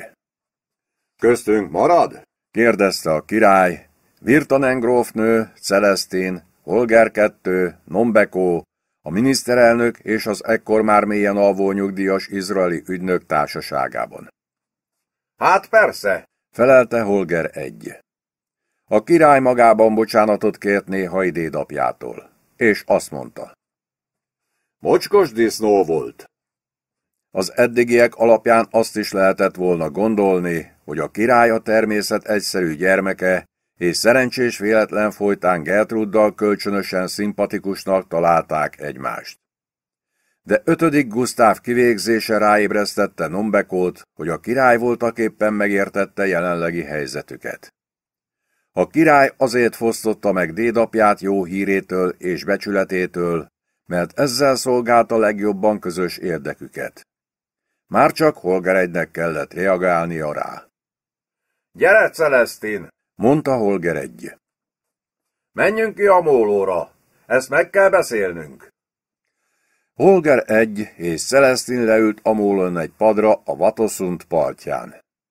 Nem sokkal múlt éjfél, már besötétedett, a nyári éjszaka rövid volt, de nem különösebben hűvös. Celestina kezébe fogta Holger kezét, a szemébe nézett, és megkérdezte, meg tudja-e bocsájtani neki, hogy majdnem nemesi származású. Holger alig hallhatóan azt válaszolta, igen, hiszen ha jól érti, nem az ő hibája, hogy Gertrud nagymama papája nem csak becsületes bankjegy hamisító volt, hanem mellesleg báró is. De persze nem örül neki. Ha igaz, akkor a története egyre jobban sántít. Enyhítő körülménynek tartja ugyan, hogy Gustav Mannerheim nagypapa élete alkonyán jobb belátásra tért, és államelnök lett. Persze, személyében egy szárnak hűséget fogadó nemesi származékból lett köztársasági elnök. Foly, micsoda undorító katyvasz! Celestin egyetértett vele. Gyerekkorában folyamatosan balszerencsésnek érezte magát. Egészen addig a napig, amíg meg nem jelent az életében Holger, az a férfi, akire mindig várt. Aki 600 méter magasból kiugrott egy helikopterből, hogy megmentse a kedvese életét. És akivel közösen elrabolták a svéd királyt, hogy lemondásra kényszerítsék, vagy, ha nem hajlandó rá, a levegőbe repítsék a kitüntetéseivel és saját magukkal együtt. Egy ideig úgy tűnt, Celestin élete megtelik értelemmel és tartalommal. De egyszerre csak azt látják, hogy a király lenyakazza a csirkéket. Meg hogy a kávé után kimegy megjavítani a nagymama traktorát. Most már nem csak vérfoltok tarkítják az ingét, hanem motorolaj is. Eközben Celestin azt is látja, hogy nagyanyja kivirul. És hirtelen elszégyelli magát, amiért egyszer régen búcsúzás nélkül faképnél hagyta Gertrudot, a nem megfelelő nagyapja miatt. Szégyen? Ez új érzés. Holger azt mondta, megérti, hogy Celestinére hatással voltak a mai este eseményei, és ő maga is elbizonytalanodott. Nem csak a királytól és a monarchiától kellene megszabadulniuk, hanem mindattól, amit a monarchia jelent. De akkor mégsem kezdhet el valami mást jelenteni a szemük láttára. A király egyszer még káromkodott is. És ki tudja, titokban nem szívszak el odakint egy cigarettát is Gertruddal együtt. Nem, Celestin ezt nem hinné. Kimentek ugyan kettesben, ez igaz, de az a traktor miatt volt. Holger egy felsóhajtott. Ha a király legalább ötödik Gusztávot nem tagadta volna meg, ahogy az imént tette. Celestin megkérdezte, ne hívják-e ide, hogy valamiféle kompromisszumra jussanak vele, miközben maga is észrevette, hogy ezt a szót most használja életében először. Arra gondolsz, hogy csak kicsit robbantsuk fel a bombát? kérdezte Holger egy. Vagy hogy a király csak részidőben mondjon le? Egyébként nem rossz ötlet idehívni a mólóra, és nyugodtan átbeszélni vele a helyzetet. De csak hármasban. A király, Holger egy és Celestin. Ne jöjjön ki se Holger kettő, se Gertrud, se a miniszterelnök, és semmiképpen se jöjjön az a kígyó Nombekó vagy az alvó izraeli ügynök. Hogy maga a beszélgetés miről szóljon és mire menjen ki, azt sem Holger, sem Celestin nem tudta. De ha eszükbe jutnak a megfelelő szavak, ki tudja, talán mégis juthatnak valamire. A király nem szívesen vált meg a grófnő társaságától, de persze nem utasít el egy éjszakai beszélgetés Celestin kisasszonyjal és a fiatalemberrel, akit nem szabad hülyének nevezni, ha ők ezt a maguk részéről jónak látják, és úgy érzik, a helyes irányba terelhetik az eseményeket. Holger egy azzal kezdte a mólon a beszélgetést, hogy a király szégyelhetné magát, amiért nem tud úgy viselkedni, mint egy király. Egyikünk sem tökéletes, felelte a király. Holger egy azzal folytatta, elismeri, hogy kedvese, Celestin örömmel látja, hogy a király milyen, bensőséges kapcsolatot létesített Gertruddal. A grófnővel, javította ki a király. Mindegy, függetlenül attól, ki minek nevezi, ő is belejátszik abba, hogy már nem látszik egyértelműen jó megoldásnak, ha a levegőbe repítik a királyt és az ország egy részét, még ha a felséges úr megtagadná is a lemondást. Helyes, mondta a király. Akkor ezt a megoldást választom. A lemondást? Nem. Azt, hogy megtagadom a lemondást, hiszen most nem vonja maga után azokat a drámai következményeket, melyeket korábban felvázoltak. Holger egy átkozta magát.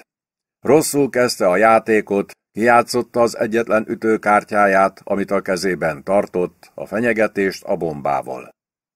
Minden rosszul sül el, bármibe kezd is. Egyre világosabban látta, hogy valóban az, aminek hívják. A király látta, hogy Holger egy vívódik magában, és hozzátette, hogy nem érdemes szomorkodnia a helyzet ilyetén alakulása miatt. A történelem ugyanis arra tanít, hogy nem elég egy királyt elkergetni a trónról, vagy akár megszabadulni egy egész királyi háztól. Tényleg nem? kérdezte Holger egy.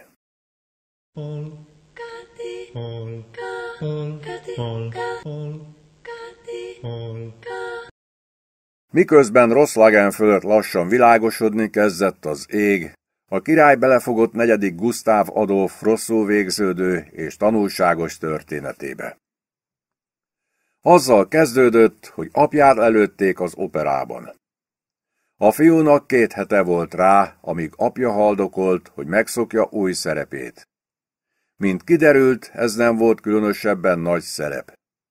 Apja ráadásul halál előtt még beleverte fiába, hogy a svéd király Isten kegyelméből uralkodik, vagyis a király és Isten közösen végzi az uralkodás munkáját.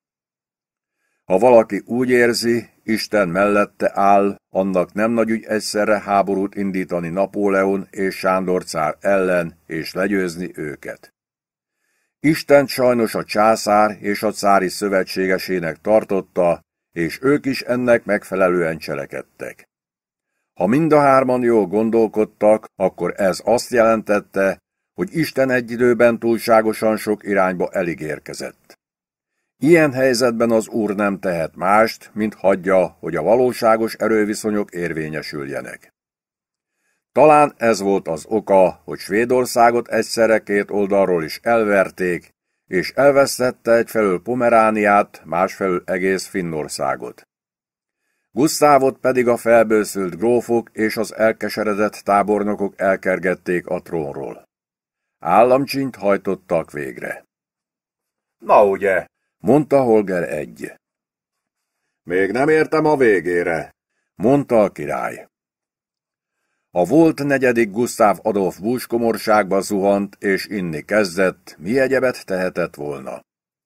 Miután már nem nevezhette magát annak, ami már nem volt, Gustavson ezredes néven bolyongott Európában, és elszegényedett, magányos alkoholistaként halt meg egy svájci panzióban.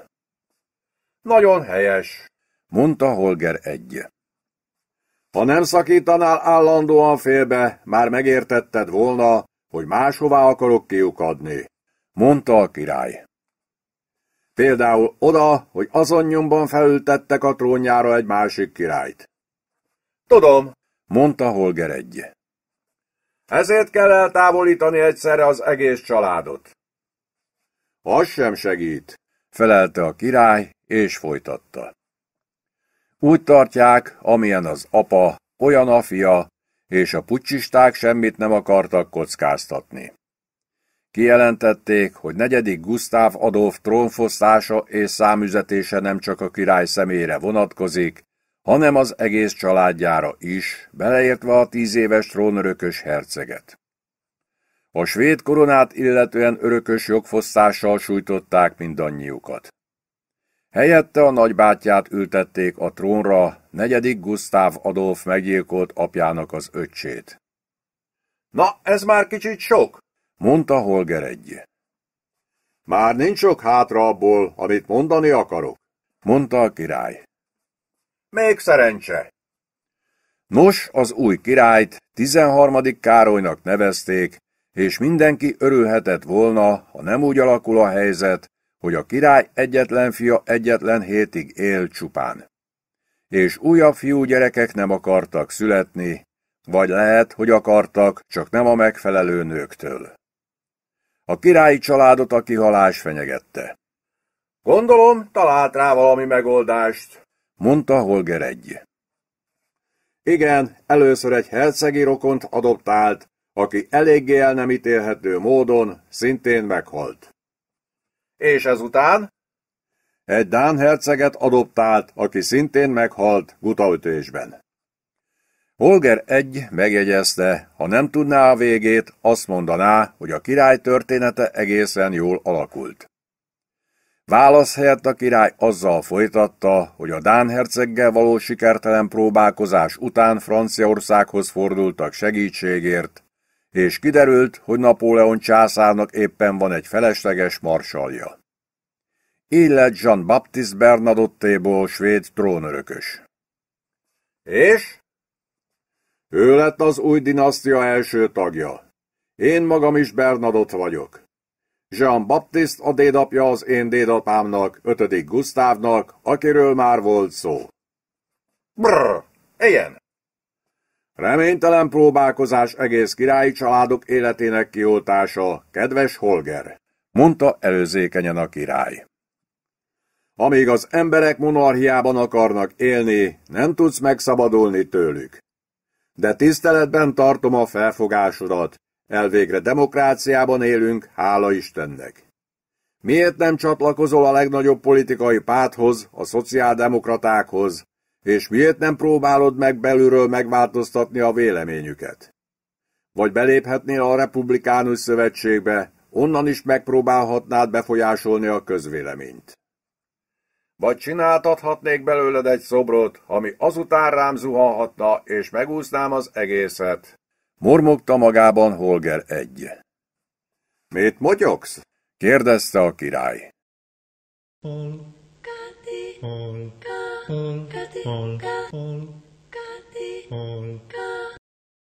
A nap felkelt, mielőtt Sölidán bárki lefekhetett volna aludni ügynökbén kívül, aki ülve aludta nyugtalan álmát a konyhai padon. A Vatosundi mólon Nombeko és Holger kettő váltotta fel a királyt. Holger és Holger ekkor váltott először szót egymással az emberrablás óta. Megígérted, hogy távol tartod magad a bombától, mondta Holger kettő szemrehányóan. Tudom, felelte Holger egy. Be is tartottam az ígéretemet éveken át, nem így van? Egészen addig, amíg a király is oda került melléje a raktérben, én pedig a volánnál ültem. Azt nem bírtam kihagyni. De mit gondoltál? És mit gondolsz most? Nem gondolkodtam. Ritkán szoktam, ezt tudod. Papa szólt, hogy induljak. A papa? De hát majdnem húsz éve, hogy meghalt. Igen, én is furcsáltam. Holger kettő sóhajtott. A legfurcsább mégis az, hogy testvérek vagyunk, mondta. Ne bántsd a kedvesemet, szólt közbe Celestin. Te ne szólj bele, mondta Holger kettő. Nombekó látta, hogy Holger egy és Celestin már nem biztos benne, hogy a haza üdvét legjobban azzal szolgálhatnák, ha megsemmisítenék önmagukat és egy jelentős darabot az országból is. Most mit gondoltok? kérdezte. Mit jössz már megint ezzel a gondolkodással? mondta Holger egy. Azt hiszem, nem nyírhatunk ki egy olyan embert, aki megnevettette a nagyanyámat, mondta Celestin. A nagyanyám soha életében nem nevetett. És te, mit gondolsz, hülye úr? Mégis megpróbálod? Mondtam már, hogy ne bántsd a kedvesemet, mondta Celestin. Még el se kezdtem, mondta Nombekó. Holger egy pár másodpercig hallgatott, aztán ezt mondta. Azt gondolom, ha ez egyáltalán jó szó arra, amit csinálok, hogy ötödik Gusztával egyszerűbb volt a helyzet. Ő ezüstfejű sétapálcát hordott és monoklit viselt, nem vérfoltos inget. És olajfoltosat, tette hozzá Celestin. Tehát ki akartok mászni valahogy ebből a helyzetből, ha jól értem? Mondta Nombekó. Igen, mondta Holger egy halkan és lesütött szemmel. Kezdheted is mindjárt azzal, hogy átadod az autókulcsot és a pisztolyt. Miközben a kulcsot nyújtotta át, a pisztoly kicsúszott Holger egy kezéből, leesett a földre, és elsült. A francba! mondta Holger kettő, és összeesett. Rimpatiralla, ripirapiralla, rumpatiruppa, ripirampu. Jakka rikta, rippari lapalan, tuli tuli lallan tipirantu. Jaksa tsappari, tikkari lallan, tiktari tillan, tikstandulla, dipidapidalla, ruppatirupiran, kurikan kukka ja kirikanku. Rimpatiralla, ripirapiralla, rumpatiruppa, ripirampu. Jakka rikta, rippari lapalan, tuli tuli lallan tipirantu. Jaksa tsappari, tikkari lallan, tiktari cantik standulla dipidapidalla ruppati rupirankurikang kukka ja kirikanku. 22. fejezet A takarítás befejezéséről és az indulásról Hajnali három felé járt, amikor a miniszterelnök visszaért Sölidára, miután Virtanen grófnő mopedjével kinjárt az országúton, ahol van térerő és működik a mobiltelefon. A miniszterelnök röviden tájékoztatta saját stábját, a király titkárságát és a világ legmegkönnyebbültebb titkosszolgálati főnökét, hogy nincs semmi baj, minden rendben van, hogy valamikor a reggeli órákban be fog menni a miniszterelnökségre, és hogy a titkára készítsen ki neki egy új öltönt és egy pár cipőt. Úgy tűnt, túljutottak a dráma legnehezebb szakaszán, senkinek nem esett bántódása Holger kettő kivételével, akit véletlenül megsebesített testvére eltévedt pisztolygolyója, s aki most a grófnő konyhája melletti hálószobában feküdt és káromkodott. Sebe valódi volt, de nem mély, szakszerűen bekötözték, és a sérültet ellátták Mannerheim marsal fertőtlenítő és fájdalomcsillapító koktéljával, melynek segítségével bizton számíthatott rá, hogy néhány hét alatt felépül. Nombekó szeretetteljesen megjegyezte, hogy Holger kettő láthatólag egyáltalán nem hagyja el magát. Ellenkezőleg az ágyban fekve is azt gyakorolja a párnájával, hogyan lehet egy kézzel megfojtani egy embert. Kiszemelt áldozata azonban biztos távolságban tartózkodott tőle. Celestinével együtt takaróba burkolózva aludt a mólon. Ugyanezt tette a nemrég még oly fenyegetően fellépő ügynök B is a konyhában. Numbeko a biztonság kedvéért kihalásza az akója alól a pisztolyát. Anélkül, hogy közben újabb baleset történt volna. A konyhában, ahol az ügynök aludt, mindannyian összegyűltek, a király, Virtanen grófnő, Nombeko és a miniszterelnök. A király derűsen érdeklődött, mi lesz a következő napi rendi pont. A miniszterelnök túl fáradt volt már ahhoz, hogy többet bosszankodjon rajta, mint amennyit már eddig is bosszankodott. Inkább Nombekóhoz fordult, és azt mondta, szeretne négy szem közt beszélni vele. Mit szólna a krumpliszállító autó vezetőfülkéjéhez? kérdezte Nombekó. A miniszterelnök bólintott. Kiderült, hogy a svéd kormányfő máshoz is jól ért, nem csak az edénytörőgetéshez. Beismerte, hogy első mérgében a Sölidán tartózkodó társaság minden tagját fel akarta jelenteni a rendőrségen, beleértve a könnyelmű királyt is. De miután jobban meggondolta, úgy döntött, gyakorlatiasabban közelíti meg az ügyet. Királyokat először is nem szokás följelenteni. Holger kettőt és Numbekót pedig nem volna méltányos rács mögé juttatni, hiszen mindent elkövettek annak érdekében, hogy valami rendet teremtsenek a káoszban. És voltak éppen a grófnőt sem terheli felelősség semmiért, érvelt a miniszterelnök. Ha eltekint attól, hogy utána nézzen, van-e érvényes fegyvertartási engedélye a szarvasölő puskára, amelyel nagyban hadonászott. Hátra van még a külföldi titkosszolgálat ügynöke. És persze a hülye és a barátnője. A két utóbbi több száz évet érdemelne valamelyik a nyilvánosság elől lehetőleg hermetikusan elzárt intézményben, de a legbölcsebb megoldás talán mégis az volna, ha a nemzet lemondana erről a jóleső bosszúról. Minden bírósági tárgyalás azzal jár, hogy a vádlottaknak kérdésekre kell felelniük, és esetükben a válaszok életre szóló traumát okozhatnának a polgárok tízezreinek, függetlenül attól, hogyan fogalmazzák meg őket. Egy őrizetlen atombomba. Svédországban. Húsz éven át. A miniszterelnök beleborzongott a gondolatba, mielőtt folytatta volna érvelését. Talált ugyanis még egy okot arra, hogy ne terelje az ügyet jogi vonalra. Amikor a mopeddel kiment az országútra, először a titkos szolgálat főnökét hívta fel, hogy megnyugtassa, aztán pedig a titkárát, akit néhány gyakorlati teendő elvégzésével bízott meg. De nem riadóztatta a hatóságokat. Valamelyik buzgó ügyész, akit az ellenzék is feltüzel, könnyen megvádolhatná őt magát is azzal, hogy törvénytelenül járt el, és ezzel csak növelte a felfordulást. Hmm, mondta Nombeko elgondolkodva. Például közveszély okozásával a büntető törvénykönyv harmadik fejezetének kilencedik paragrafusa alapján. Két év? kérdezte a miniszterelnök, aki már kezdte sejteni, hogy Nombeko gyakorlatilag mindent tud. Igen, felelte Nombeko. A lehetséges károkozás méretére való tekintettel ne reménykedjen benne, hogy akár egy nappal is kevesebb. Azon kívül a mopedet sisak nélkül vezette. Ha jól ismerem Svédországot, ez további 15 évet jelenthet. A miniszterelnöknek tervei voltak a jövőre nézve. 2009 nyarától kezdve az EU tanácsának elnöke szeretett volna lenni. Börtönben kivárni ezt az időt nem látszott különösebben előnyös felkészülési lehetőségnek.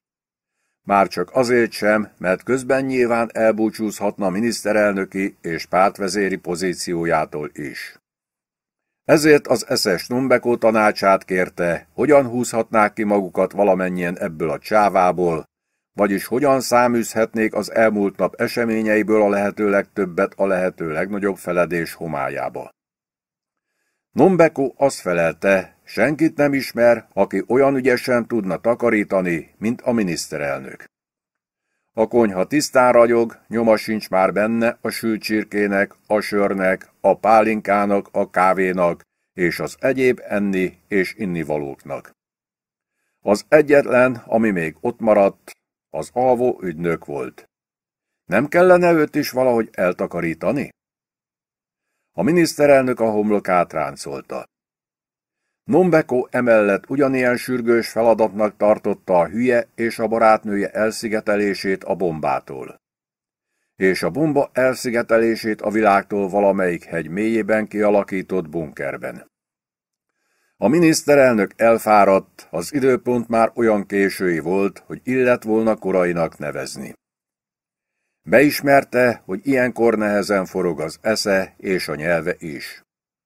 De amikor még jobban forgott, neki is eszébe jutott a hegymélyi bunker. Ahol szétszedhetnék és hatástalaníthatnák a bombát, vagy befalazhatnák, hogy örökre elfelejtsék még az emlékét is. Most azonban azzal kell szembenéznie, hogy az idő nem bánik kegyesebben a miniszterelnökökkel, mint más egyszerű halandókkal. Éppen ellenkezőleg. Frederick Reinfeldt hivatali elfoglaltságának soron következő programpontja a találkozás HU elnökkel a miniszterelnöki irodában 10 órára volt kitűzve, azután pedig a hivatalos ebéd következett a Ságer palotában. És előtte még zuhanyozni is szeretett volna, hogy ne érezzék rajta a krumpiföld szagát, és tiszta ruhát és nem sáros cipőt húzni. Kis csoportjuk útnak indítása gyorsan megoldható. Nehezebb feladatnak látszik, hogy útközben találjanak egy olyan félreeső hegyi bunkert, ahová elrejthetik és örökre eltemethetik az atombombát. Ennek a feladatnak a megoldásával, bármilyen fontos is, várniuk kell délutánig. A miniszterelnök a napi munkája során általában nem beszél sokat, inkább ő szokott másokat hallgatni. Most maga is meglepődött, mennyire nyíltan beszél Nombekó Majekivel. Bár voltak éppen érthető. Mindenkinek szüksége van valakire, akivel megoszthatja legféltettebb titkait, és ugyan ki mással beszélhetne erről a három megatonna súlyú nyomasztó problémáról, mint ezzel a dél-afrikai nővel és esetleg annak barátjával? A miniszterelnök megértette, hogy növelnie kell azoknak az embereknek a számát, akiknek tudniuk kell erről a titokról. Elsőként a hadsereg főparancsnokára gondolt, mert neki kell felelnie a hegyi bunkerért, bárhol legyen is az. Mivel a főparancsnok nem tudja saját kezűleg szétszedni és hatástalanítani a bombát, sem a bunker bejáratát befalazni, szükség lesz további emberekre. Ezzel előáll majd az a helyzet, hogy a következők fognak tudni arról, amiről nem kellene tudniuk. Egy, A főparancsnok. Kettő, A hatástalanító A. Három, A kőműves B. Négy, Numbeko Majeki illegális bevándorló. Öt, A nem létező Holger Quist. Hat, Az utóbbi nagyon is létező testvére. Hét, A testvér kolerikus barátnője. Nyolc, egy volt krumplis gazda, jelenleg grófnő, kilenc, ő felsége a könnyelmű király, valamint tíz, egy nyugdíjas moszad ügynök. Ennek alig ha lesz jó vége, mondta Reinfeldt miniszterelnök. Már miért ne lenne? felelte Nombekó.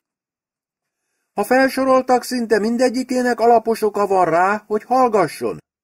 Némelyik pedig annyira zavaros fejű, hogy senki nem hinne neki, ha fecsegne. A királyra céloz? kérdezte a miniszterelnök. A miniszterelnök és Hu Jintao az ebédet a Ságer palotában, Svédország legbefolyásosabb gazdasági vezetőinek társaságában fogja elfogyasztani. Innen Hu elnök egyenesen az Arlanda repülőtérre hajtat, ahol már vár rá a saját Boeing 767-es repülőgépe, hogy hazavigye Pekingbe. A főparancsnokot csak ezután hívhatja be a miniszterelnökségre. Rámerhetem bízni Nombekó kisasszonyra a bombát arra az időre, amit hutársaságában kell töltenem, meg utána, amíg a főparancsnokot beavatom az ügybe? Hogy a miniszterelnök úr mit mer és mit nem mer, azt magának kell tudnia. Én minden esetre már húsz éve viselem, részben a felelősséget ezért a műtágyért, amelyik eközben egyszer sem robbant föl. Néhány órát még nyugodtan vállalhatok. Ebben a pillanatban Nombeko észrevette, hogy a király és a grófnő kilép a konyhából, és elindul a móló felé. Ki tudja, milyen ostobaságon törik már megint a fejüket. Nombeko gyorsan átgondolta a helyzetet. Kedves miniszterelnök úr, Menjen be a konyhába, és foglalkozzon a boszad ügynökével legjobb belátása szerint. Tudom, hogy tudja, hogy mit kell tennie. Én közben kimegyek a mólóra, és vigyázok, hogy a király és grófnője ne csináljon semmi bolondságot. Fredrik Reinfeldt megértette, hogy Nombeko mit vár tőle. Egész lénye tiltakozott ellene, hogy megtegye. Aztán sóhajtott egy nagyot, és elindult, hogy megtegye, amit meg kell tennie.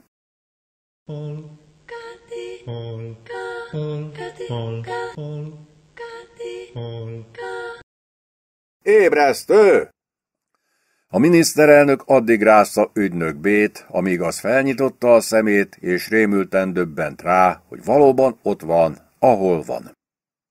Amikor Fredrik Reinfeldt látta, hogy az ügynök már érti, amit hall, erősen a szemébe nézett, és azt mondta. Látom, hogy az ügynök úr autója itt áll a ház előtt. Javaslom, Svédország és Izrael népeinek barátsága érdekében, hogy azonnal üljön bele és távozzon innen, és hagyja el az országot. Javaslom továbbá, jegyezze meg, hogy nem járt itt soha, és nem jöhet vissza soha többé. A törvénytisztelő miniszterelnököt fizikai rosszul fogta el arra a gondolatra, hogy néhány óra leforgásán belül nem csak krumplit lopott valaki másnak a földjéről, hanem még egy ittas embert is felszólított arra, hogy autót vezessen. A többiről nem is beszélve. És Olmert miniszterelnök úr? kérdezte ügynök B. Nincs miről beszélnem vele, hiszen maga soha nem járt itt. Vagy nem így gondolja? Ügynök békétségtelenül nem volt teljesen józan.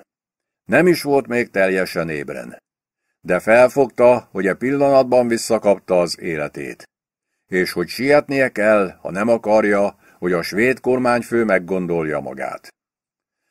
Fredrik Reinfeldt volt Svédország egyik legbecsületesebb embere, olyan ember, aki diákkora óta fizeti a tévé előfizetési díjat. Aki már gyerekkorában nyugtát állított ki, ha eladott a szomszédjának egy kötek póri hagymát 25 őréért. Nem csoda, hogy most úgy érezte magát, ahogy érezte, amikor futni hagyta az ügynököt. És amikor úgy döntött, hogy mindent el kell hallgatni. El kell temetni. A bombát is. Egy hegymélyi bunkerbe. Csak sikerüljön. Nombeko evezővel a hóna alatt tért vissza, és elmondta, hogy sikerült megakadályoznia, hogy a grófnő és a király orforgászatra induljon. Amikor a miniszterelnök erre nem mondott semmit, és Numbeko látta ügynök B. bérelt autója hátsó lámpájának fényét távolodóban Sölidától, hozzátette. Van, amikor nem lehet jót lépni, miniszterelnök úr. Csak kisebb vagy nagyobb mértékben rosszat. A grófnő konyhájának teljes mértékű kitakarítása az ország érdekét szolgálta. Ezért ne legyen rossz a lelkiismerete. A miniszterelnök pár másodpercig hallgatott. Aztán azt mondta. Köszönöm, Nombekó kisasszony. Nombekó és a miniszterelnök lement a mólóhoz, hogy beszéljen Holger egyel és az ő celesztinéjével. Mind a ketten aludtak a takaróik alatt, és néhány perce már mellettük aludt a sorban a király és a grófnő is. Kelj fel, hülye, mert ha nem kelsz fel, belerúglak a vízbe, mondta Nombekó, és a lábával meglökte Holger egyet, igazából az orrát kellett volna megcsavarnia, hogy enyhüljön valamelyest a kínzó frusztrációja. A két korábbi emberrabló felült a mólón, miközben ártalmatlanná tett követőik lassan ébredeztek. A miniszterelnök bevezetésképp azt mondta, hajlandó eltekinteni a rendőrségi feljelentéstől az emberrablás, a fenyegetés és az ehhez kapcsolódó tényállás tekintetében, ha a jövőben számíthat Holger és Celestin teljes együttműködésére. Mindketten bólintottak. Mi lesz velünk, Nombekó? kérdezte Holger egy. Hol fogunk lakni? Az egyszobás lakásom Blakkebergben kicsi, mert Celestin magával akarja hozni a nagyanyját, és a nagyanyja is jönni akar. Nem kellene inkább horgászni mennünk? Kérdezte álmából felriadva a grófnő. Nem, most az a legfontosabb, hogy túléljük ezt az éjszakát, mondta a miniszterelnök. Helyes szélkitűzés, mondta a király. Kicsit defenzív, de helyes. És hozzátette még, hogy talán jobb, ha nem ülnek be a grófnővel a ladikba, és nem eveznek ki horgászni. Orforgászaton kapták a királyt. Egy ilyen szalagcímet nem hagynak ki egyetlen rosszindulatú újságíró sem. A miniszterelnök arra gondolt, nincs a világon újságíró, akár rosszindulatú, akár nem, aki önként lemondana egy ilyen szalagcímről, ha igaz. Hangosan viszont azt mondta, nagyra értékelné, ha ő felsége kiverni a fejéből az újabb törvénysértő cselekedet gondolatát, mert az előző éjszaka elkövetett bűncselekményeikkel már így is jócskán elláthatnának egy bíróságot munkával. A király arra gondolt, ott és annyit horgászik, amennyit csak akar, de azért többé-kevésbé kelletlenül belátta, jobb, ha ezt nem köti a miniszterelnöke orrára. Így aztán Fredrik Reinfeldt folytathatta a helyzet és az ország megmentésére kidolgozott programjának kifejtését. Virtanen grófnőhöz fordult, és kérte, hogy röviden válaszoljon arra a kérdésére, hajlandó-e elhagyni Sölidát az unokájával és annak barátjával együtt. Igen, a grófnő úgy érezte, hogy visszatért az életkedve. Ennek az az oka, hogy már hosszú ideje együtt van imádott unokájával, és az is, hogy a királyról kiderült, milyen sokat tud a finn-svéd történelemről és a finn-svéd hagyományokról. A krumpliföldet már eladták, lapigazgatónak lenni pedig, őszintén szólva, nagyon unalmas foglalkozás, még ha rövid ideig tart is. Egyébként azt is unom már, hogy egyedül élek. Nem ismer felséged egy jól bejáratott bárót, akit bemutathatna nekem? Nem kell szépnek lennie. A király azt felelte, hogy bárókból pillanatnyilag hiány van, de nem jutott tovább, mert a miniszterelnök közbeszólt és kijelentette, hogy most nem érnek rá megvitatni a jól bejáratott bárók előfordulásának gyakoriságát, akár szépek, akár nem, mert ideje, hogy elinduljanak. A grófnő tehát velük tart? Igen, de hol fognak lakni? Az egyszerű öregasszonyoknak általában bármilyen szerény hajlék megfelel, de a grófnők adni szoktak magukra és a lakhelyükre. Nombeko arra gondolt, hogy felpörgeti az eseményeket.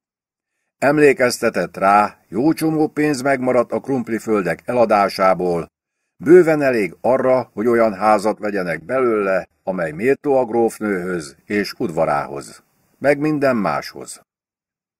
Ha még találunk egy megfelelő palotát, elszállásoljuk önöket valamilyen rangjukhoz méltó intézményben. Mit szólnának a Stockholmi Grand Hotel egyik lakosztályához? Rendben, de csak átmenetileg, mondta a grófnő, miközben az egykori kommunista forradalmár Celestin erősen megszorította fintorgó barátja kezét.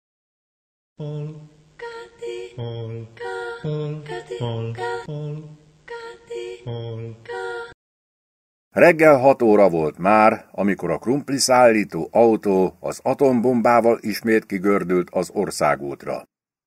A volánnál a miniszterelnök ült, a társaság egyetlen olyan tagja, aki jogosítványjal rendelkezett, és eléggé józan volt ahhoz, hogy vezessen. A jobb szélen Nombekó ült, középen pedig a felkötött karú Holger kettő. A raktérben a király folytatta elmélyült beszélgetését Virtanen grófnővel.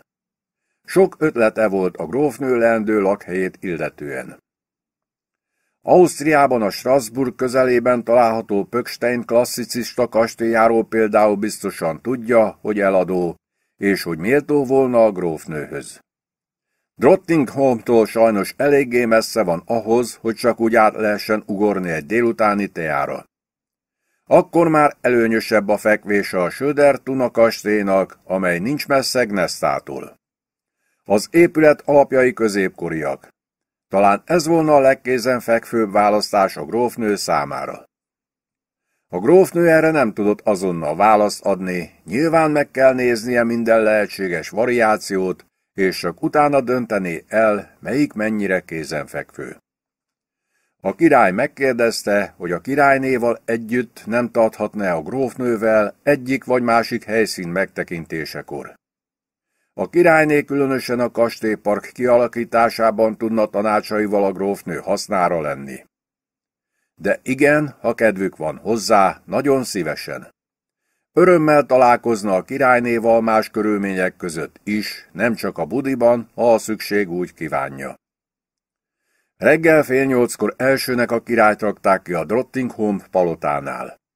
A király becsöngetett, és eltartott egy ideig, amíg elhitték neki, hogy az, akinek mondja magát, és amíg a szégyenkező őrparancsnok beengedte. Aki megpillantván a belépő királyt, azonnal felfigyelt az ingét tarkító vörös foltokra. Ő felsége megsebesült? kérdezte az őrparancsnok. Nem, csirkevér, felelte a király. És motorolaj. A következő megálló a Grand Hotel volt, de itt mindjárt egy logisztikai problémával kellett szembenézniük. Holger kettő ugyanis belázasodott a testvér által okozott sebesülése miatt. Le kellett volna feküdnie, és fájdalomcsillapítót kellett volna kapnia, mivel a Mannerheim koktélt tartalmazó üveg már kiürült. Csak nem képzeled, hogy bejelentkezem a szállodába, és hagyom, hogy az a segfej ápolgasson, aki miatt majd nem kinyífantam? Métlatlankodott Holger kettő. Inkább lefekszem egy padra egy játszótéren, és szépen elvérzek. De Nombeko győzködni kezdte, megígérte, hogy megfojthatja a testvérét, de legalábbis megcsavarhatja az orrát, ha ő maga meg nem teszi addig, de erre csak akkor lesz képes, ha a karja meggyógyul. Lefeküdni egy padra és elvérezni azon a napon, amikor valószínűleg végleg megszabadulhatnak a bombától, a sors egészen elképesztő iróniája volna.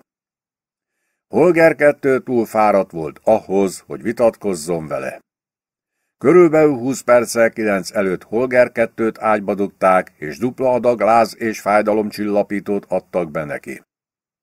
Egy pohár vízzel felhajtotta az orvosságot, és 15 másodperc múlva már aludt is. Holger ugyanezzel a céllal a nappali díványára heveredett le, Virtanen grófnő pedig bement a lakosztály hálószobájába, és szemrevételezte a minibár kínálatát. Egyedül is boldogulok, menjetek nyugodtan! A miniszterelnök, Nombeko és Celestina hotel bejárata előtt beszélte meg az elkövetkező néhány óra fontosabb teendőit. Reinfeldnek találkozója van Huhjintauval.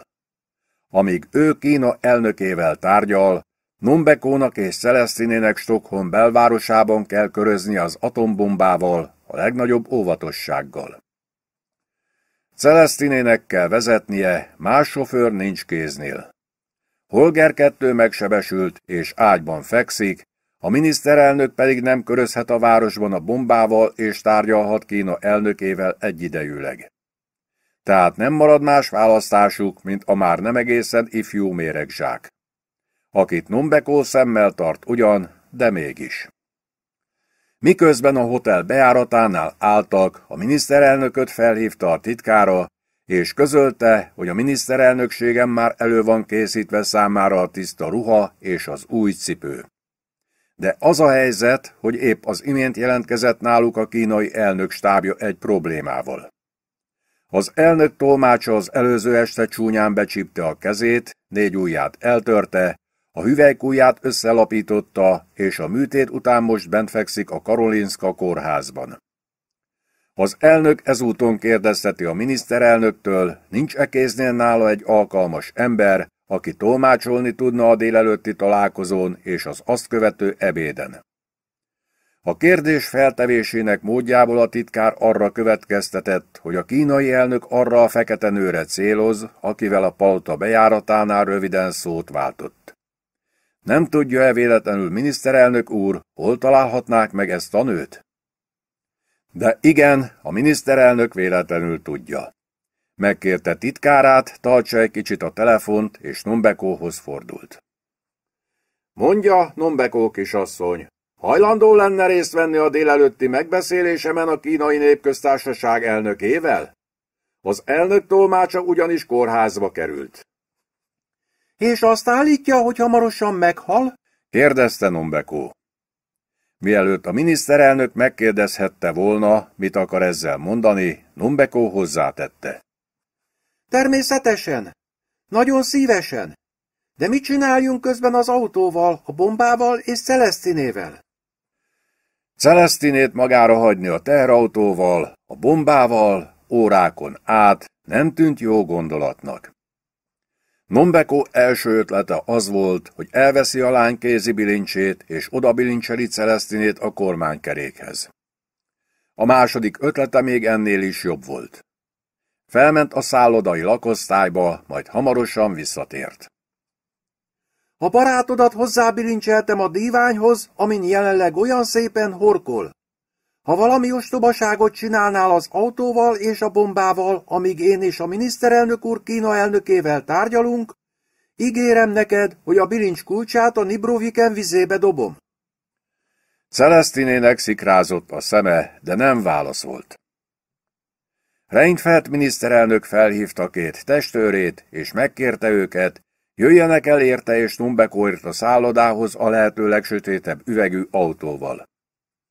Celestinét utasította, hogy keressen a közelben egy jó parkolóhelyet, és várja meg, amíg ő vagy Nombeko hallat magáról.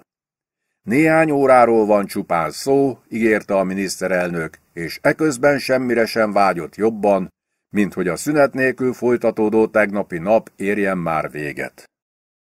Rimpatiralla, ripirapiralla, rumpatirupparipirampu, jakkarittaari parilla palantuli tuli lallan tivirantu, jatsatsapari dikkari lallan tikkari tillan tikstandulla, dipidapidalla, ruppatirupirankkuri kankukka ja kirikanku, ratsatsa ja ripidapidilla, peritstan tillan tellan doa parikkatita, parippari, paripiripiripiristen tellan doja, parillas tellan teja doa, da, da, da, What is that little last day land do do day da 23. fejezet Egy dühös főparancsnokról és egy szépen éneklő nőről. Frederick Reinfeldt egy szendvicssel és egy tripla kávéval letelepedett irodája egyik karosszékébe. Előtte teljes tatarozáson esett át, zuhanyozott, tiszta ruhát öltött és új cipőt húzott, melyen nyoma sem volt sárnak. A másik karosszékben már ott ült dél-afrikai származású kínai tolmácsa egy csészesvét teával a kezében. Ugyanabban a ruhában, amit előző nap viselt. Igaz, ő nem téblábolt krumpliföldeken. Szóval ilyen, amikor nem sarazza be magát? Mondta Nombeko. Hány óra van? kérdezte a miniszterelnök. Húsz perc múlva lesz tíz. Van még idő a tolmács felkészítésére. A miniszterelnök elmondta, hogy meg akarja hívni Hu Jintaót a 2009-es Kopenhágai klímacsúcsra, mert akkor ő lesz az EU tanácsának soros elnöke. A klímáról, a környezetről, meg az ezzel kapcsolatos vállalásokról lesz szó, mondta. Szeretném, ha Kína is részt venne a klíma megállapodás kidolgozásában. Nagyon helyes, mondta Nombeko. Az ellentmondásos témák közé tartozik a svéd álláspont kifejtése a demokráciával és az emberi jogokkal kapcsolatban. Nagyon fontos, hogy ezeket a mondatait Nombeko szó szerint fordítsa le, és ne igazítsa a saját szavajárásához. Más? kérdezte Nombeko. Természetesen üzleti ügyekről is szó lesz. Importról és exportról. Kína az export szempontjából is egyre fontosabb partnere Svédországnak. Évente 22 milliárd korona értékben exportálunk svéd árucikkeket Kínába, mondta a miniszterelnök. 20,8, mondta Nombeko. A miniszterelnök felhajtotta a kávéját, és magában megállapította, hogy életének alig, hanem a legkülönösebb 24 óráját éli. Más nem akar mondani a tolmács kisasszony? A miniszterelnök kérdésében nem volt semmi irónia. Nombeko azt mondta, jó, hogy a találkozón a demokráciáról és az emberi jogokról lesz szó, mert akkor a miniszterelnök úr utólag elmondhatja, hogy a találkozón a demokráciáról és az emberi jogokról volt szó. Cinikusnak is brilliáns, gondolta Fredrik Reinfeldt.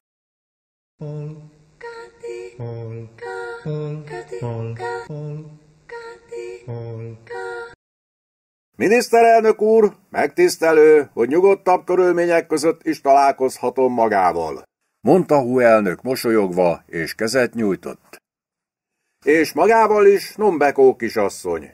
Igazán örülök, hogy útjaink ismét keresztezik egymást. Nombekó szintén örömét fejezte ki a találkozás miatt, de megjegyezte, hogy a szafarin szerzett közös emlékeik felidézését máskorra kell halasztaniuk, mert a miniszterelnöknek valószínűleg nem lenne türelme végighallgatni őket. A megbeszélést egyébként mindjárt az elején a demokráciával és az emberi jogokkal akarja kezdeni, mert úgy gondolja, e tekintetben az elnök úr gyenge lábakon áll. És talán nem is látja rosszul a helyzetet. De nem kell aggódnia, elnök úr, azt hiszem, jól megszokta válogatni a szavait. Felkészült? Kezdhetjük?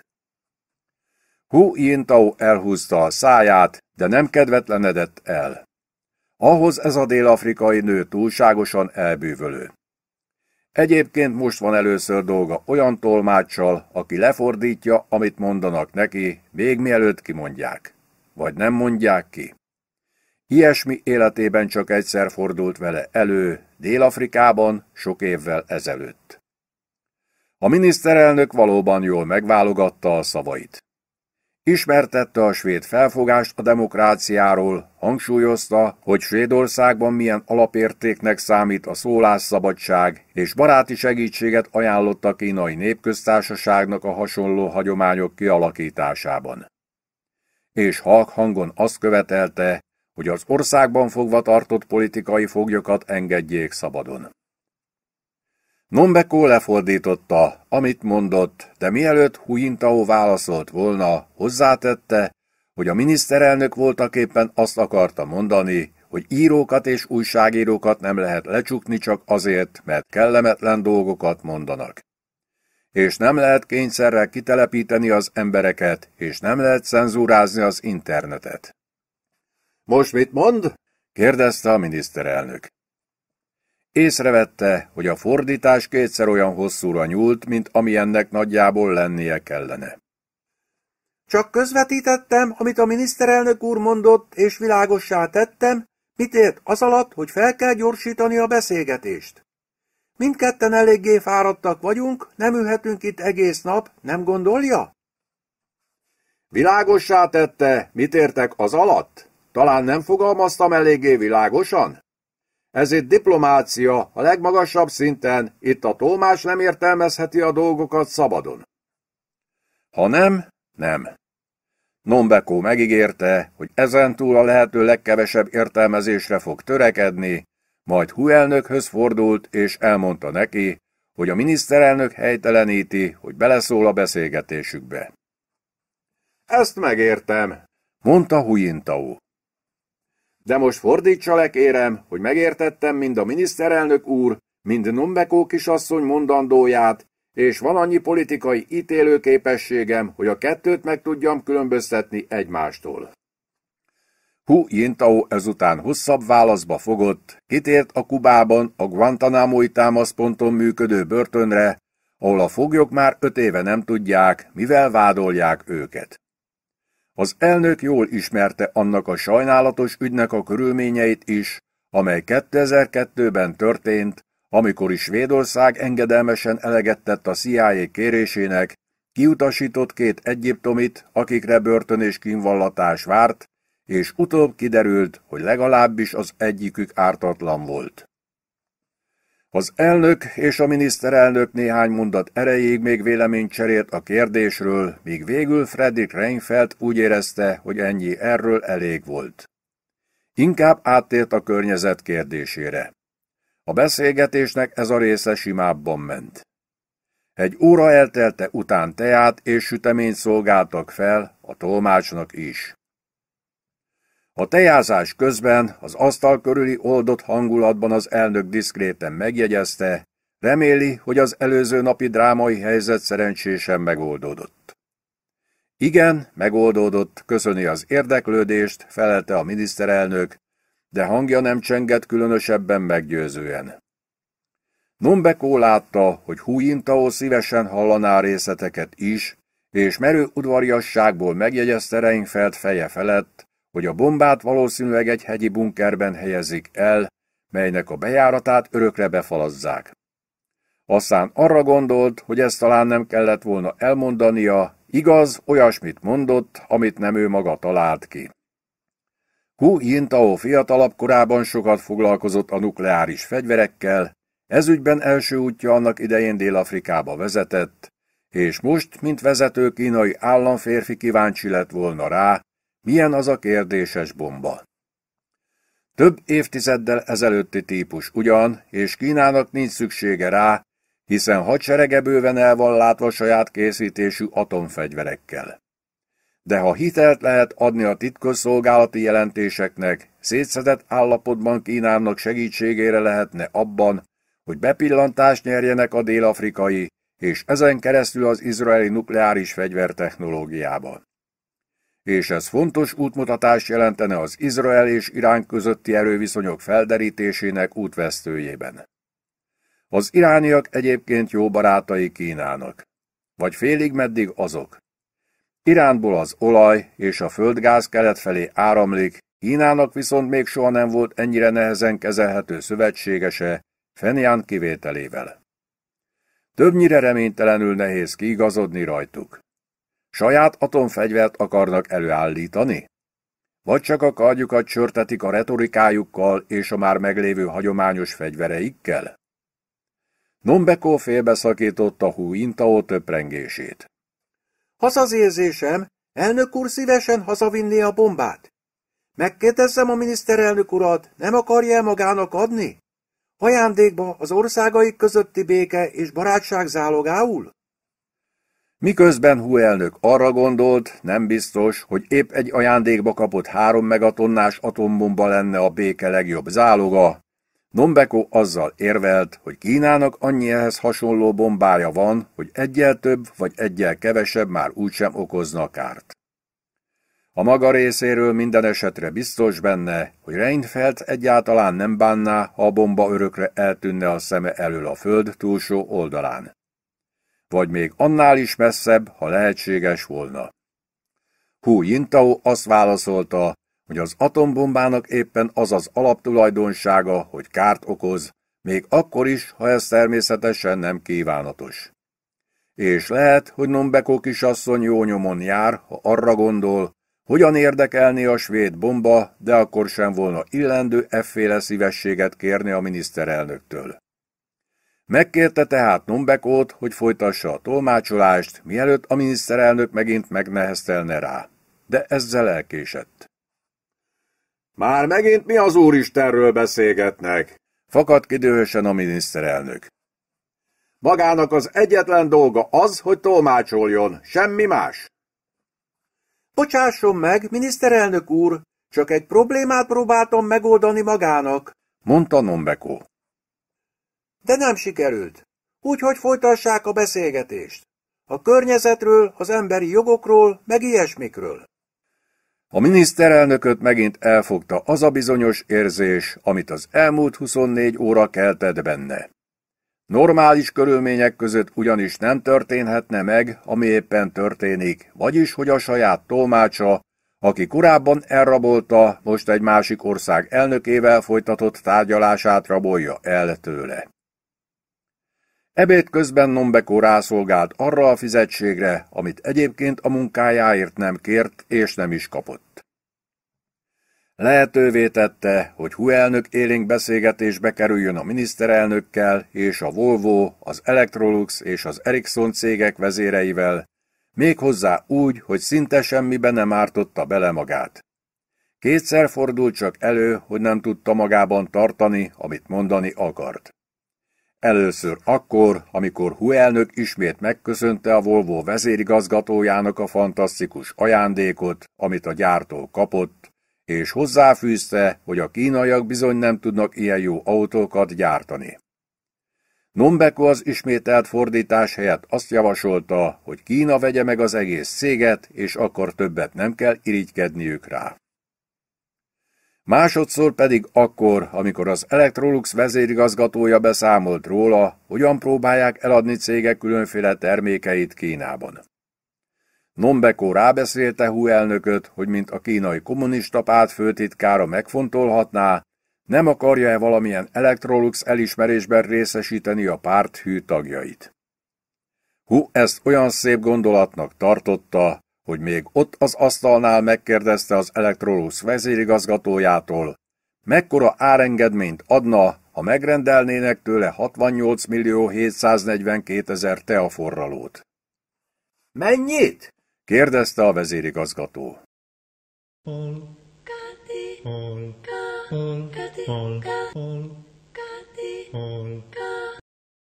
A hadsereg főparancsnoka épp Liguriában nyaralt, amikor a miniszterelnök a titkárával felhívatta.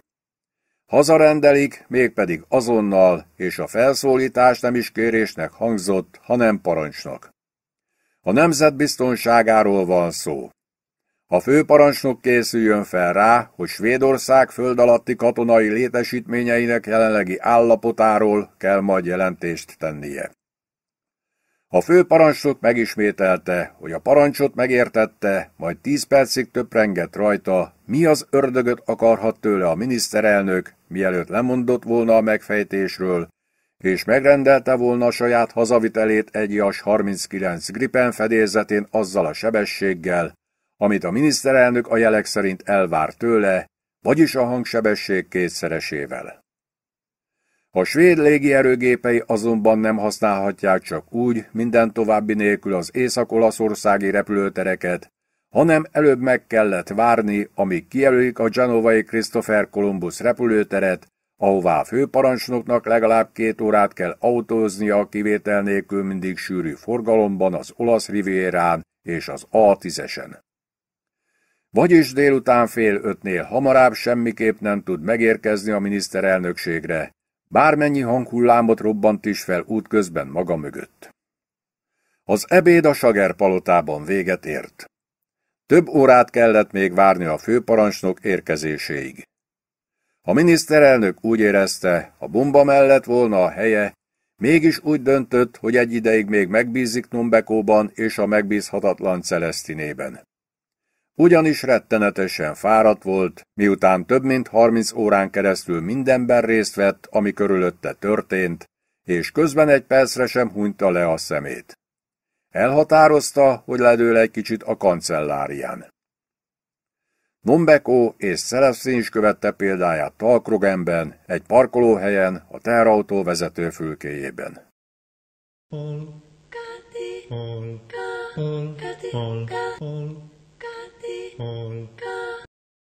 Közben elérkezett a kínai elnök és kísérete hazautazásának ideje. Hu Jintao elégedett volt ugyan a látogatással, de fele annyira sem elégedett, mint felesége Liu Yongqing. Miközben férje a politikának és a vajban párolt tőkehalfilének szentelte a vasárnapját, Liu és a delegáció néhány női tagja két fantasztikus tanulmányi kiránduláson vett részt. Először Vasterasban, a heti vásáron, azután Knistában, a méntelepen. Vasterásban az elnök feleség először a svéd kézműipar termékeit csodálta meg, aztán egy olyan pavilonhoz lépett, ahol olcsó, importált kacatokat árultak. A sok értéktelen holmi között az asszony nem hitt a szemének, egyszer csak megpillantott egy Han dinasztia korából származó, igazi cseréplibát. Amikor Liu Yongwing a maga kezdetleges angolságával harmadszor kérdezte meg, hogy tényleg annyi -e az ára, amennyi rá van írva, az árus azt hitte, az asszony alkudni akar, és dübegurult. Igen, annyi, mondtam már. Húsz korona, egy őrével sem kevesebb. A liba úgy került hozzá, hogy egy hagyatéki árverésen megvet néhány láda limlomot, az elhunyt korábban 39 koronáért vásárolta a libát egy fura amerikai alaktól a Manköpingi piacon, de ezt a jelenlegi tulajdonosa nem tudhatta. Voltak éppen már meg akart szabadulni tőle, de a külföldi nő nagyon rámenős volt, és valami olyan nyelven karattyót a barátnőivel, melyet senki nem értett. Ezért megmakacsolta magát, és nem engedett az árból. Húsz korona, vagy nincs vásár, ilyen egyszerű. Végül az öreg lány mégiscsak fizetett öt dollárt. Még számolni sem tudott. Az árus elégedett volt, az elnök felesége boldog. És később még boldogabb lett, amikor első látásra beleszeretett egy Morpheus nevű, három éves kaspipóni csődörbe a Knistai méntelepen. Az állat teljesen olyan volt, mint egy normális, felnőtt ló, de mindössze egy méter marmagasságú, és ennél, mint általában a kaspi pónik, nem is lesz soha magasabb. Ezt akarom, jelentette ki Liu Yongwing, aki amióta elnök feleség lett, egyedülálló hatékonysággal tudta érvényesíteni akaratát. A kíséret Pekingbe szállítandó holmia miatt elképesztő mennyiségű papírmunkát kellett elvégezni a Cargo City irodáiban az Arlanda repülőtéren. Itt nem csak a ki- és berakodáshoz szükséges gépekkel és eszközökkel rendelkeztek, hanem a szabályok ismeretével is, vagyis, hogy egyes dolgokhoz milyen papírokra és pecsétekre van szükség. Az értékes handinasztia korabeli liba könnyen átesett az eljáráson. A ló azonban több problémát okozott. Az elnök már az elnöki gép elnöki foteljében ült, és megkérdezte titkárától, miért késnek az indulással. Azt a választ kapta, hogy az elnök Volvójának még néhány kilométert meg kell tennie, mielőtt megérkezik Torslandából, de ez a kisebbik probléma a nagyobb kalamajkát aló okozza, melyet az elnökné asszony vásárolt. Furcsa emberek dolgoznak ezen a repülőtéren, azt gondolják, a szabályok arra valók, hogy betartsák őket, és nem veszik figyelembe, hogy ez esetben a kínai elnök gépéről van szó. A titkár elismerte, hogy akadozik az egyeztetés, hiszen a tolmácsuk még mindig kórházban van, és az indulásig már nem fog felgyógyulni. Az ügy részleteivel a titkár természetesen nem akarja terhelni az elnökét, de a delegáció többi tagjával együtt arra gondoltak, legjobb volna, ha még egyszer segítségül hívnák azt a dél-afrikai nőt, ha ezt az elnök is jó gondolatnak látja. És ha igen, engedélyezi-e, hogy megkeressék. Így történt, hogy a krumpli szállító autó vezető fülkéjében fejtől láptól fekvő Nombekót és Celestinét telefonhívás ébresztette fel álmából, és ezt követően úgy, ahogy voltak, az autóval és a bombával a Cargo City-be hajtottak az Arlanda repülőtéren, hogy segítsenek Kína elnökének és delegációjának a vámpapírok kitöltésében és elintézésében.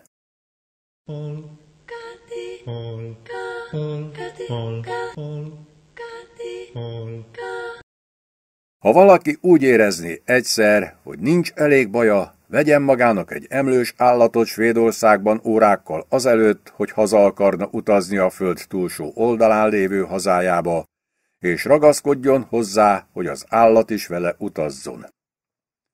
Nombekó segítségét többek között arra akarták igénybe venni, hogy érje el, hogy az állategészségügyi hatóság érvényes exportbizonyítványt állítson ki annak a kaspipóninak a kiviteléhez, amelyik néhány órával ezelőtt a kínai elnök feleségének, Liu Yongwingnak mélyen a szemébe nézett. A lónak oltási bizonyítványt is be kell mutatnia a hatóság repülőtéri képviselőjének. Mivel Morpheus Kaspipóni volt és Pekingbe akart utazni, a kínai szakigazgatási hivatal szabályai szerint negatív Coggins tesztlelettel is rendelkeznie kell, amelyik igazolja, hogy az északi sarkörtől száz mérföldnyire délre fekvő Knistában született és felnevelkedett ló nem szenved fertőző kevésvérűségben. Továbbá gondoskodni kell róla, hogy a repülőgépen legyen megfelelő nyugtatószer, injekciós tű és kanül arra az esetre, ha az állatrepülés közben pánikba esik. Akár csak megfelelő tagló arra az esetre, ha az állat fékezhetetlenül megvadul. Végül, de nem utolsó sorban az állategészségügyi hatóság körzetileg illetékes állatorvosának a repülőtéren kell megvizsgálnia és azonosítania az állatot. Amikor kiderült, hogy a körzetileg illetékes Stockholmi állatklinika vezetője szolgálati okokból éppen Reykjavikban tartózkodik, Numbeko feladta. Úgy látom, ennek a problémának alternatív megoldásra van szüksége, mondta. Mire gondolsz? kérdezte Celestin. Miután Nombeko megoldotta az elnök feleség Póniának problémáját, gyorsan vissza akart jutni a miniszterelnökségre, hogy jelentést tegyen róla. Fontos volt, hogy hamarabb érjen oda, mint a főparancsnok, miután Celestinének szigorúan meghagyta, hogy óvatosan vezesse a krumpli szállító autót a nagy forgalomban, és ne csináljon semmi butaságot. Celestin meg is ígérte, és ígéretét minden bizonyja be is tartja, a rádióban véletlenül nem Billy Idol számait játszották volna. Az történt ugyanis Stockholmtól néhány mérföldnyire északra, hogy egy baleset következtében közlekedési dugó alakult ki az autópályán. Nombekónak a taxiban még sikerült átjutnia rajta, de Celestinben ragadt a krumpli szállító autóval a gyorsan növekvő torlódásban. Felfogása szerint, melynek a későbbiek során hangot is adott, fizikai képtelenség egy helyben állni egy dugóban, miközben a rádióban a Dancing with Myself szól. Úgy döntött tehát, hogy a buszoknak fenntartott sávban halad tovább. Így fordulhatott elő, hogy egy hamis rendszámtáblával közlekedő krumpli szállító teherautó, melyet egy ritmusosan rángatózó nő vezetett, Rotebrótól északra jobbról elhúzott egy civil rendőr autó mellett. A renitens teherautót azonnal leállították. Miközben a rendőrfelügyelő a rendszámát ellenőrizte és megállapította, hogy azonos egy piros Fiat Ritmo évekkel ezelőtt ellopott rendszámával, gyakornok kollégája odament Celestinéhez, aki leengedte az ablakot. A buszsávban nem szabad közlekedni, akár van baleset, akár nincs, mondta a gyakornok. Megmutatná a jogosítványát? A faszom nem kéne, öcsi? mondta Celestin. Alig egy perc múlva, rövid dulakodás után Celestin bennült a rendőrautó hátsó ülésén, csuklóján a sajátjához hasonló bilincsel. Az egy helyben veszteglő autósor közönsége vadul fényképezte az egész jelenetet. A rendőrtiszt sok év tapasztalatával a háta mögött nyugodt hangon magyarázta el Celestinének, hogy jobb, ha megmondja, kicsoda, ki a teherautó tulajdonosa, és miért jár lopott rendszámtáblával. A gyakornok közben átvizsgálta a teherautó rakterét. Egy nagy láda állt benne, és a sarkánál az egyik léc kirazult, és, igen, fel lehetett hajlítani. Hű az anyját! Kiáltott fel a gyakornok, és rögtön odahívta a felügyelőt, hogy megmutassa neki. Pár másodperc múlva újabb kérdésekkel kezdték ostromolni a megbilincselt Celestinét, ezúttal a láda tartalmát illetőleg. De Celestin ekkor már tudta, mit kell mondania. Tényleg azt akarjátok tudni, hogy mi a nevem? kérdezte. Szívesen vennék, ha megmondaná, felelte továbbra is nyugodt hangon a tiszt. Edith Piaf, mondta Celestin, és énekelni kezdett. Non, rien de rien. Non, je ne regrette rien. Ni le bien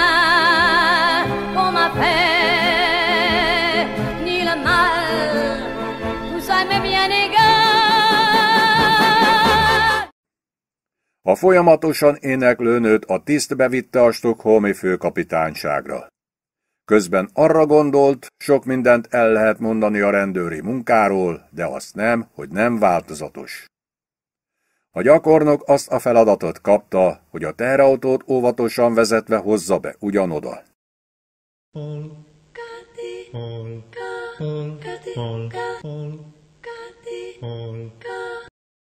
2007. június 10-én, vasárnap délután 16.30-kor a kínai elnöki gép a levegőbe emelkedett az Arlanda repülőtérről, és útnak indult Peking felé. Nagyjából ugyanekkor Nombeko visszaérkezett a miniszterelnökségre. Sikerült bedumálnia magát a szentek szentjébe azzal, hogy előkerítette a miniszterelnök titkárát, és elmagyarázta neki, hogy Hu elnökkel kapcsolatban fontos információt kell átadnia a főnökének. Numbekót néhány perccel a főparancsnok érkezése előtt engedték be a miniszterelnök irodájába. Frederick Reinfeldt szemben láthatóan frissebbnek látszott, majdnem másfél órát aludt, miközben Nombekó járt a repülőtéren, és bűvészkedett kicsit az engedélyekkel, lovakkal és egyebekkel. A miniszterelnök kíváncsian várta, mit akar mondani. Arra számított, hogy csak a főparancsnok látogatása után találkoznak újra, amikor sor kerül a végső elraktározásra. Nos, a körülmények úgy alakultak, hogy a főparancsnok látogatása időközben ukafogyottá vált. Viszont illene a lehető legrövidebb időn belül kapcsolatba lépni Hu elnökkel. Nombeko ezután beszámolt a póni méretű, kaspiló körül támadt bonyodalmakról, a szinte követhetetlenül bonyolult bürokratikus eljárásról, amire azért volt szükség, hogy a lovat ne kelljen itt hagyni a repülőtéren az elnök felesége és az elnök legnagyobb bosszúságára. A bonyodalmakat Nombeko unortodox módon úgy oldotta volna meg, hogy a lovat beteszi a már szabályosan vámkezelt Volvo mellé, melyet az elnök pénteken kapott ajándékba a Toslandi Volvo gyárban. Biztos, hogy nekem is tudnom kell róla? Szólt közbe a miniszterelnök. Attól tartok, igen. Fontos, hogy tudjon róla. Felelte Nombekó. A ló ugyanis nem fért el a ládában a Volvo mellett. Ha viszont jól megkötik és bezárják az atombomba ládájába, a szállító leveleket pedig átteszik az egyik ládáról a másikra, Svédország egyszerre megszabadulhat a Kaspi Pónitól és az atombombától. Azt mondja, hogy... A miniszterelnök nem fejezte be a mondatot. Biztos vagyok benne, hogy Hu elnök nagyon fog örülni neki, hogy átfeheti tőlünk a bombát. Sok kérdésre választ kapnak majd a szakemberei. Kínának már annyi közepes és nagy hatótávolságú, atomtöltettel rendelkező rakétája van, hogy egy három megatonnás bombával több vagy kevesebb igazán nem sokat számít. És gondoljon arra, hogy milyen boldog lesz az elnökné asszony a lovával. Csak kár, hogy a Volvo itt marad Svédországban. Ben van a krumpli szállító teherautó rakterében. Miniszterelnök úr talán meg tudja oldani, hogy elszállítsák Kínába, amilyen gyorsan csak lehet. Mit gondol? Fredrik Reinfeldt nem ájult el a Numbekótól kapott információ hallatán, mert nem volt rá ideje. Titkára ugyanis bekopogtatott, és közölte, hogy megérkezett a főparancsnok. Kint várakozik. Néhány órával ezelőtt a főparancsnok még a késői reggeliét fogyasztotta Sanremo derűs kikötői negyedében bájos felesége és három gyermeke társaságában. A miniszterelnökségi telefonhívás után, hogy ne veszítsen időt, taxival ment Genovába, ahol már várta a svéd légierő büszkesége, a JAS 39 Gripen, amely kétszeres hangsebességgel és 320 ezer koronás összköltséggel elrepítette Svédországba, az Uppsala Arnában lévő katonai repülőtérre. Onnan autóval vitték tovább, és csak azért késett néhány percet, mert az E4-es autópályán baleset történt. Amíg állt a forgalom, a főparancsnok tanúja lehetett egy kis hétköznapi drámának. A rendőrök a szeme láttára megállítottak egy terautót, melyet egy nő vezetett. A nő, miután megbilincselték, énekelni kezdett valamit franciául. Furcsa jelenet volt. Találkozója a miniszterelnökkel még ennél is furcsább volt. A főparancsnok attól félt, hogy valamiféle háborús válsághelyzet van, mert a miniszterelnök olyan nyomatékosan szólította fel, hogy azonnal jöjjön haza. Most meg itt ül előtte a miniszterelnök, és csak azt akarja tudni, hogy a föld alatti svéd bunkerek jó állapotban vannak-e, és betöltik-e a funkciójukat. A főparancsnok azt válaszolta, hogy amennyire tudja, mindegyik betölti funkcióját, és jól ki van használva, de itt-ott biztosan találni még egy-két üresen álló egységet, ha arról volna szó, hogy a miniszterelnök úr esetleg tárolni akar valamit bennük. Helyes, mondta a miniszterelnök. Akkor nem is tartom fel tovább a főparancsnok urat, elvégre szabadságon van, én pedig mindent tudok már, amit tudni akartam. Amikor a főparancsnok befejezte a töprengést azon, hogy mi történt voltak éppen, és arra jutott, hogy az egészből semmit sem ért, zavarodottságát bosszankodás váltotta fel. Miért nem hagyják békén a szabadsága idején? Végül felhívta a Jas 39 Gripen pilótáját, aki korábban idehozta, és aki még mindig az Upsalától északra fekvő katonai repülőtéren tartózkodott. Üdvözlöm! Itt a főparancsnok beszél. Mondja, volna olyan kedves, és visszavinne Olaszországba? Megint ugrott 320 ezer korona. Plusz 8 ezer, mert a főparancsnok helikopter taxival vitette ki magát a repülőtérre.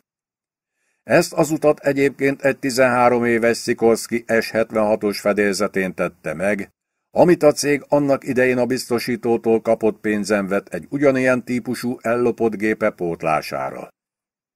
A főparancsnok mindössze negyed órát késett a családjával korábban eltervezett Sanremói tengerparti vacsoráról. Hogy sikerült a megbeszélésed a miniszterelnökkel, kedvesem? kérdezte a felesége. Azt hiszem, a következő választáson másik pátra fogok szavazni, Felelte a hadsereg főparancsnoka. Hu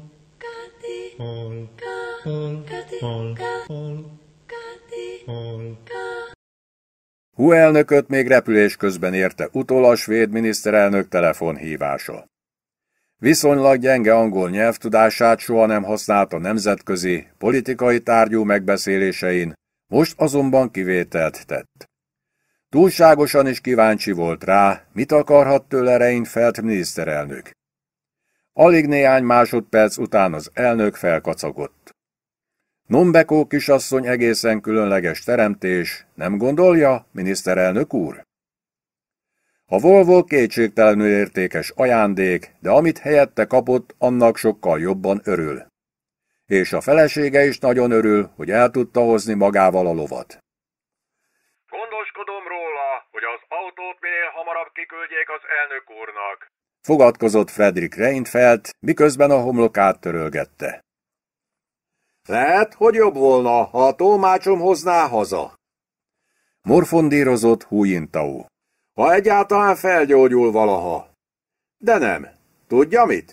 Inkább adja Nombekó kisasszonynak, szerintem megérdemli. Hu elnök ezután ígéretet tett rá, hogy a bombát nem fogja rendeltetésszerűen használni. Ellenkezőleg, amint megérkezik, azonnal apró darabokra szedik szét, és ezzel meg is szűnik létezni.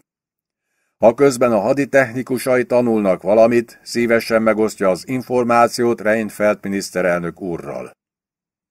Nem, Reinfeldt miniszterelnök erre nem tart igényt. Az efféle tudásra az ő, vagy a király országának nincs szüksége.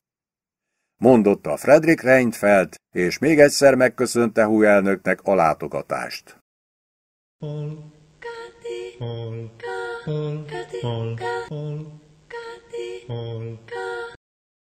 Nombekó visszatért a Grand Hotelbe, és levette a még mindig alvó Holger egy kezéről a bilincset. Aztán csókot nyomott a szintén alvó Holger kettő homlokára, és takarót terített a grófnőre, aki a hálószobában a minibár előtt aludt a padlószőnyegen. Visszament a kedveséhez, lefeküdt melléje, behunyta a szemét, és mielőtt elaludt, arra gondolt, vajon mi történhetett Celestinével. Másnap délben arra ébredt, hogy Holger egy, Holger kettő és a grófnő közzé vele, hogy az ebéd tálalva van. Mivel a legkényelmetlenebb helyzetben Gertrud aludt a minibár előtt a földön, ő ébredt fel először. Más elfoglaltság hiány lapozgatni kezdte a szálloda információs prospektusát, és fantasztikus felfedezést tett.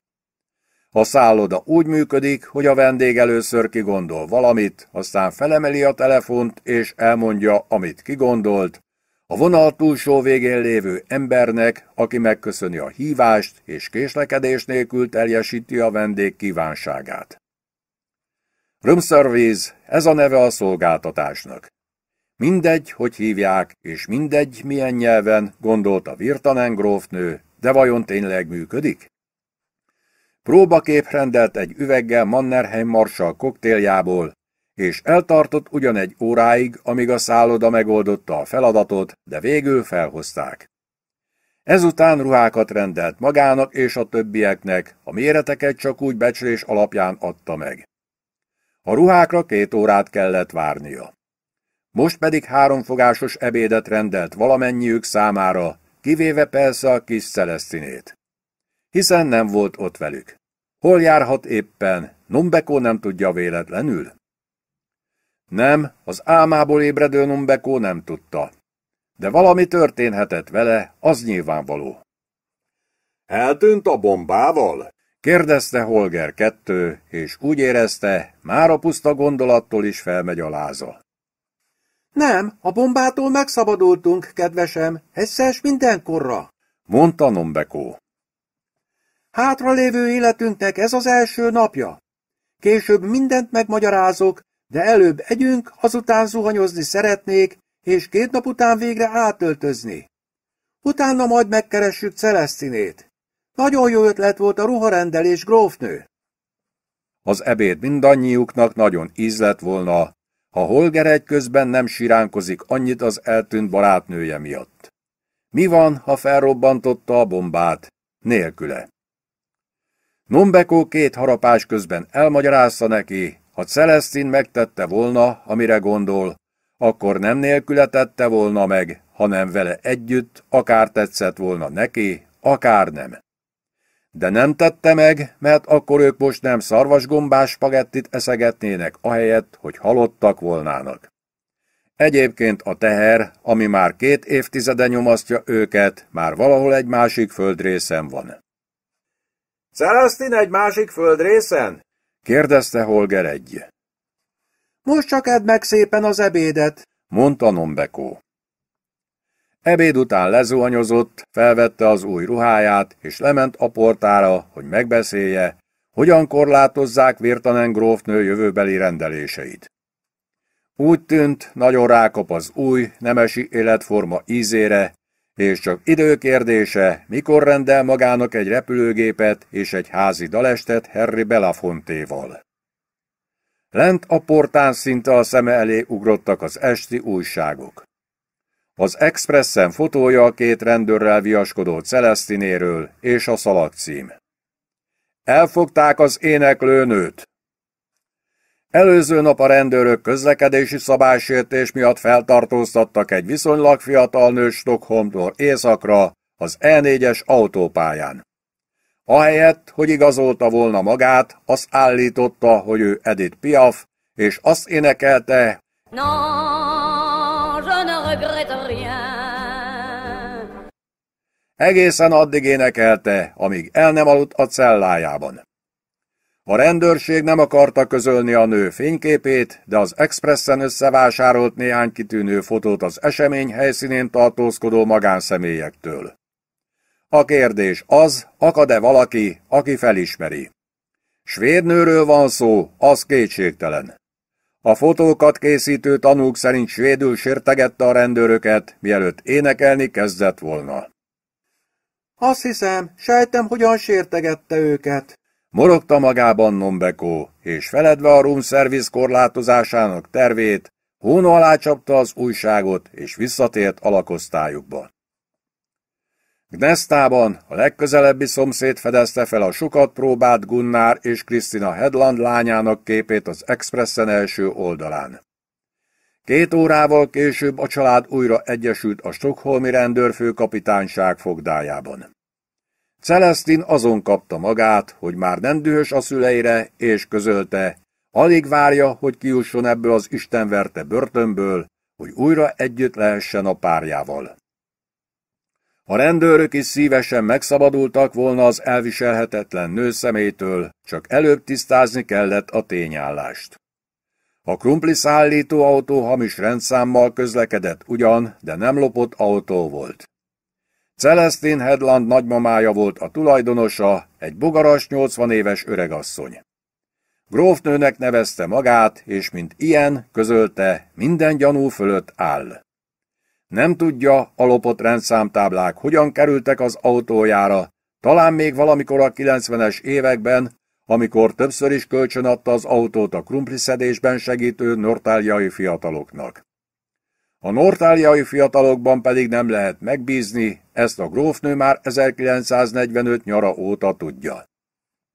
Miután azonosították Celestin Headlandot, nem volt rá ok, hogy továbbra is fogva tartsák vagy letartóztassák. Pénzbüntetést fog kapni jogosítvány nélküli vezetésért, ez minden. A rendszámtáblalopás természetesen büntetnek számít, de függetlenül attól, hogy kikövette el, elévült, mert húsz évvel ezelőtt történt. A lopott rendszámtábla felhasználásának büntette ugyan nem évült el, de a vizsgálatot vezető rendőrtisztnek annyira elege volt már a Non, rien de. Non, je ne regrette rien. Ni le bien qu'on m'a fait, ni le mal. Tout ça m'est bien égal. hogy úgy döntött, a cselekményt nem tekinti szándékosnak. A felügyelőnek egyébként nem messze Nortaljétől volt egy nyaralója, és az előző nyáron ellopták a kertjéből a függőágyát. A grófnő tehát joggal gyanakszik a nortaljai ifja kriminális beállítottságára.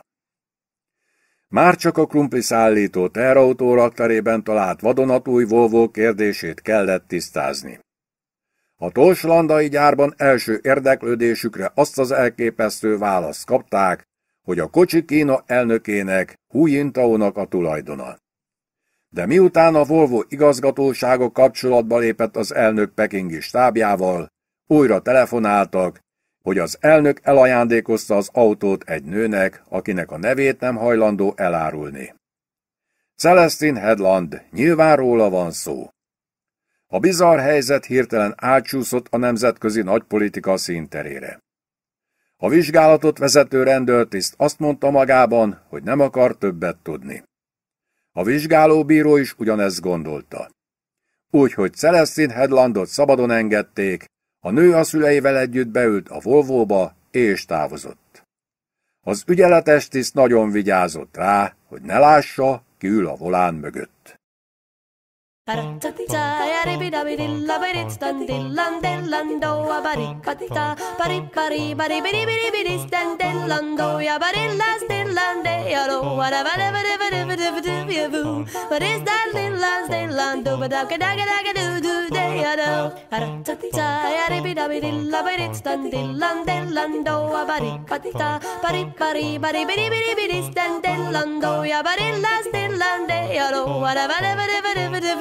day a day a boo. What is that little land, still land, do ba da ga do do day ya do. Hetedik rész Förtelmes világunkban semmi nem tart örökké. Még a gondjaink sem. Charlie Chaplin 24. fejezet Az igazi létezésről és egy megcsavart orról. Holger egy, Celestin és Virtanen grófnő, aki elhatározta, hogy Mannerheimre változtatja a nevét, jól érezték magukat a Grand Hotel lakosztályában, és gyorsan beleszoktak a kényelembe. Nem érezték sürgősnek a lakhelynek alkalmas kastély felkutatását. A szállodai szobaszolgálat egészen lenyűgözte őket. Gertrud még Holger egyet és Celestinét is rábírta, hogy próbálják ki. Néhány nap alatt őket is rabul ejtette. A grófnő minden szombaton társaságot hívott a szalonjába, Gunnar és Kristina Headland voltak a díszvendégei.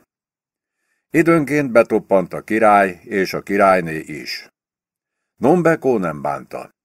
Igaz, hogy a szállodai számlájuk hatalmasra nőtt, viszont az is igaz, hogy bőven telt rá a krumpliföldek eladásából származó pénzből.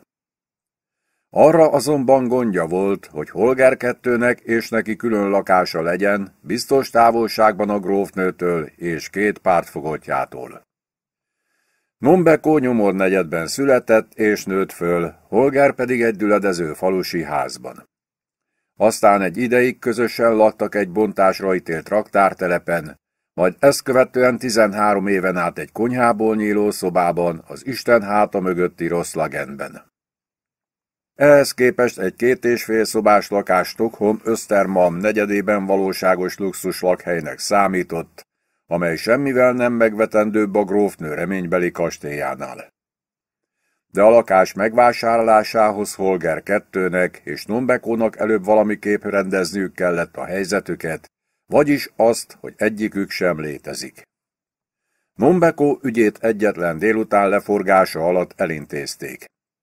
A miniszterelnök felhívta a bevándorlási ügyek miniszterét, aki felhívta a bevándorlási hivatal főnökét, aki felhívta az egyik legjobb munkatársát, aki megtalálta az 1987-es bejegyzést Nombeko Majekiről, és úgy döntött, hogy Majeki kisasszony azóta Svédországban tartózkodik, és ezen az alapon azonnal a svéd királyság állampolgárának nyilvánította. Holger II viszont a Stockholmi Södermalmon az adóhivatal irodáját kereste fel, és bejelentette, hogy nem létezik, de nagyon szívesen létezne, ha lehet. Némi folyosói futkosás és ide-oda küldözgetés után elirányították az adóhivatal karstatti kirendeltségébe egy bizonyos Pel Erik Personhoz, aki a bonyolult adatnyilvántartási ügyek egyik legjobb szakértője Svédországban. Pel Erik Persson ízig-vérig hivatalnok volt, de a pragmatikus fajtából.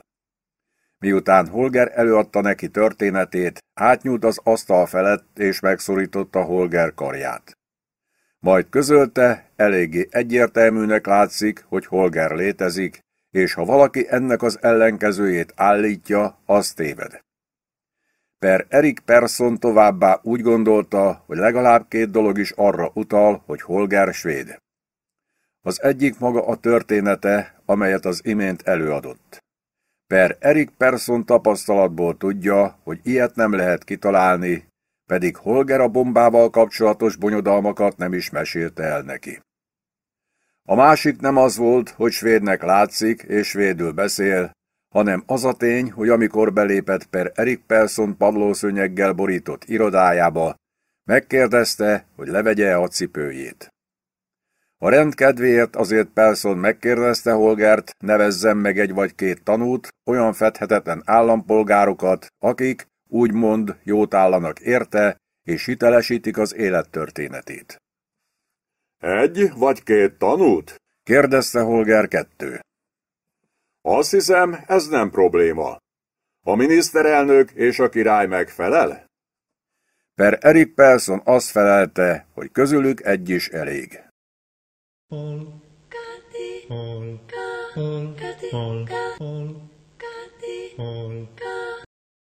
Miközben Mannerheim grófnő és két segédje úgy döntött, hogy új házat építenek, mivel nem találnak maguknak megfelelő régi kastélyt, Holger 2 és Nombeko elkezdett élni.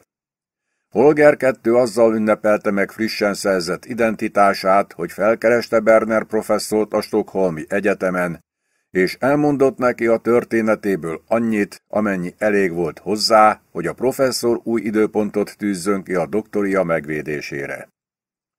Nombeko azzal szórakoztatta magát, hogy 12 hét alatt a legmagasabb pontszámmal átment az összes egyetemi matematikai vizsgán, miközben teljes munkaidőben dolgozott a miniszterelnökségen, mint Kína szakértő.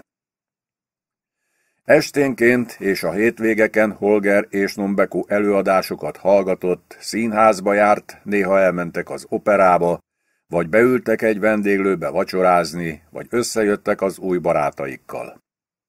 Ez utóbbiak kizárólag olyanok közül kerültek ki, akiket objektív módon normálisnak lehetett tekinteni. Otthonukban mindig nagy örömmel fogadták, ha a levélszekrényükbe valamilyen újabb számla érkezett. Csak az kap számlát, aki valóban létezik. Holger és Nombeko egy kis otthoni szertartást is bevezetett, Lefekvés előtt Holger minden este kitöltött maguknak egy-egy pohár portóit, és arra kocintottak, hogy újabb nap telt el az életükből Holger egy, Celestin és a bomba nélkül. 2008 májusára felépült a 12 szobás Vastmanlandi kúria, melyet egy 50 hektáros erdős park vett körül. Holger egy ráadásul túllépte Nombekó költségvetését, mert megvette a parkkal szomszédos tavat arra hivatkozva, hogy a grófnő így néha foghat egy-egy csukát. Praktikus okokból helikopter leszállóhelyet is építettek a ház mellé, és vettek hozzá helikoptert is, melyet Holger vezetett engedély nélkül Drottingholmba, valahányszor a grófnő teára vagy vacsorára volt hivatalos legkedvesebb barátainál. Időnként Holger egy és Celestin is meghívást kapott ugyanoda, különösen azóta, hogy megalapították a Vid a Monarchiát nevű kulturális egyesületet, melyet mindjárt meg is támogattak két millió koronával. Két milliót? Arra, hogy véd a monarchiát? kérdezte Holger kettő, amikor Nombekóval együtt virágcsokorral a kezükben megjelentek az új ház avatásán. Nombeko nem mondott semmit. Úgy gondolod, bizonyos kérdésekben megváltoztattam a véleményemet? kérdezte Holger egy, miközben beljebb invitálta testvérét és barátnőjét a házba. Ez a legkevesebb, amit erről mondani lehet, felelte Holger kettő. Nombeko továbbra sem mondott semmit. Nos, Holger egy ezzel nem értett egyet. A papa más korszakban és másik uralkodó ellen harcolt. Azóta a társadalom minden tekintetben megváltozott, és az új idők új válaszokat követelnek, vagy nem így van? Holger kettő azt felelte, hogy ez még annál is nagyobb marhaság, mint amit régebben szokott összehordani, pedig az se volt akármi. Azért csak folytasd, kíváncsi vagyok, mi jön még ezután. Arról van szó, hogy az új évezredben minden iszonyúan felgyorsult, az autók, a repülők, az internet, minden. Ilyenkor a népnek szüksége van az állandóságra, a biztonságra, a stabilitásra. Például a királyra? Igen, például a királyra, mondta Holger egy. A monarchia ezer éve létezik, a széles sávú internet alig több mint egy évtizede. Mi köze ehhez a széles sávú internetnek? kérdezte Holger egy, de kérdésére nem kapott választ. Holger egy kifejtette, hogy az internacionalizmus korában minden nemzetnek az a legjobb, ha a saját szimbólumai köré építi az életét. A republikánusok ennek pont az ellenkezőjét akarják, kiárusítják az országot, euróra váltják át a svéd identitást, és leköpik a svéd zászlót. Ez volt az a pont, amikor Nombeko nem bírta tovább tűrtőztetni magát. Odalépett Holger egyhez, a mutató és a középső ujja közé fogta az orrát, és megcsavarta. Jaj! Kiáltott fel Holger egy. Istenem, de jól esik! mondta Nombeko. Celestin éppen a szomszédos, 80 négyzetméteres konyhában tartózkodott. Meghallotta Holger egy jajgatását, és a segítségére sietett. Mit művelsz a kedvesemmel? kiáltotta. Dugd ide az orrod, megmutatom, felelte Nombeko. De Celestin nem volt ennyire ostoba. Inkább folytatta, amit Holger egy abba hagyott. A svéd hagyományokat komoly veszély fenyegeti. Nem ülhetünk ölbetett kézzel, nem nézhetjük tétlenül, ami történik. Két millió korona ebben az összefüggésben semmi, hiszen mérhetetlenül nagy értékről van szó, hát nem értitek? Mondta Celestin. Nombeko mereven nézte Celestin orrát, de Holger kettő megelőzte. Gyorsan belekarolt Nombekóba, megköszönte, hogy megmutatták a házat, és Nombekóval együtt gyorsan távozott.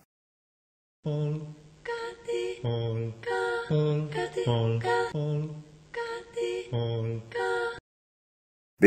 Az egykori ügynök egy padon üldögélt Gecemánéban, abban a reményben, hogy visszanyeri lelke békéjét, amivel ez a bibliai kert megszokta ajándékozni. De ezúttal nem sikerült. Az ügynök megértette, hogy van még valami, egyetlen egy dolog, amit meg kell tennie. Azután végképp maga mögött hagyhatja a régi életét. Hazament a lakásába, leült a számítógépe elé, egy gibraltári szerveren keresztül rákapcsolódott az internetre, és egy nem rejtjeles, névtelen üzenetet küldött az izraeli miniszterelnök hivatalába. Az üzenet így szólt. Kérdezzék meg Reinfeldt miniszterelnöktől, mi van az antilop hússal. Ennyi. Olmert miniszterelnök sejteni fogja, honnan jön az üzenet. De soha nem fog a nyomára bukkanni.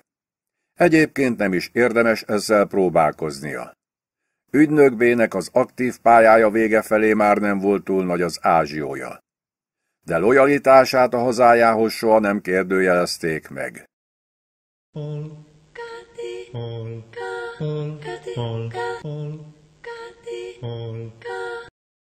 2008. május 29-én Stockholmban az Irakkal foglalkozó nagy konferencián történt, hogy Cipi Livni, az izraeli külügyminiszter félrevonta Reinfeldt svéd miniszterelnököt, és miután néhány másodpercig a megfelelő szavakat kereste, ezt mondta. Miniszterelnök úr jól ismeri hivatásunk korlátait. Néha tudjuk mi az, amit nem lenne szabad megtennünk, néha pedig nem.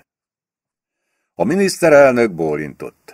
Sejtette, hogy a külügyminiszter hova akar kiukadni. A kérdés, amit mindjárt fölteszek, talán furcsának fog tűnni, ez sajnos nagyon is valószínű, de alapos megfontolás után Olmert miniszterelnök urral közösen mégis arra jutottunk, hogy föltesszük.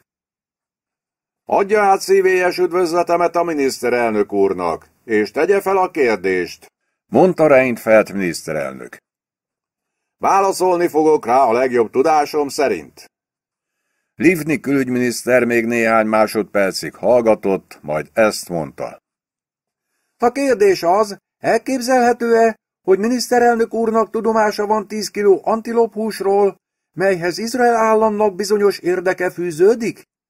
Még egyszer elnézést kérek, ha a kérdést túlságosan furcsának tartja. Reinfeldt miniszterelnök mereven mosolygott, és azt válaszolta, hogy eljutott hozzá az antilophús, nem volt jó íze, az antilophús nem tartozik a kedvenc ételei közé, és gondoskodott róla, hogy a jövőben senki más ne kóstolhassa meg. Ha több kérdése is volna még ezzel kapcsolatban a külügyminiszter asszonynak, attól tartok, adósa maradok a válaszsal. Zárta le a témát Reinfeldt miniszterelnök. Nem, Livni külügyminiszter asszonynak nem volt több kérdése. Ő nem írtózik annyira az antilop hústól, mint a svéd miniszterelnök, bármennyire vegetáriánus is egyébként. Izrael számára azonban az az információ legfontosabb, hogy a hús nem került olyanok kezébe, akik nem tisztelik az állati termékek kivitelének és behozatalának nemzetközi szabályait. Örömmel hallom, hogy a jelek szerint megmarad a baráti kapcsolat a népeink között, mondta Reinfeldt miniszterelnök. Meg, mondta Livni külügyminiszter.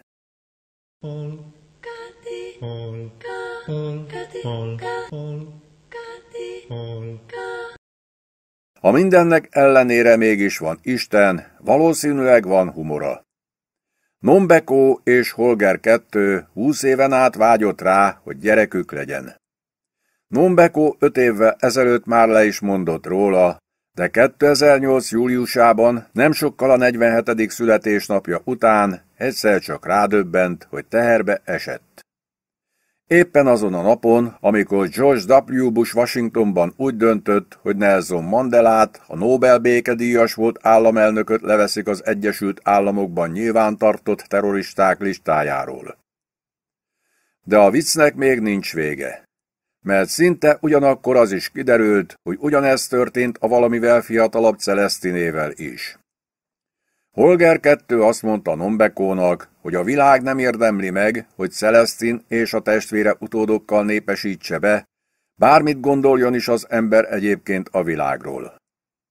Nombekó egyetértett vele, de ragaszkodott hozzá, hogy ők ketten továbbra is csak magukkal foglalkozzanak, a saját boldogságukkal, a két bolond boldogságával pedig foglalkozzon az a két bolond, meg az egyik bolond nagyanyja. Így is lett.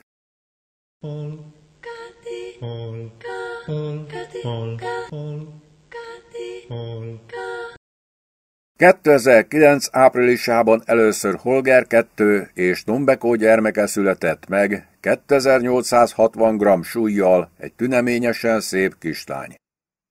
Nombeko ragaszkodott hozzá, hogy a nagyanyja után Henrietta legyen a neve. Két nappal később Lozanban, egy magánklinikán előre eltervezett császármetszéssel megszülettek Celestin ikrei. Két szinte teljesen azonos külsejű fiú. Karl és Gustav.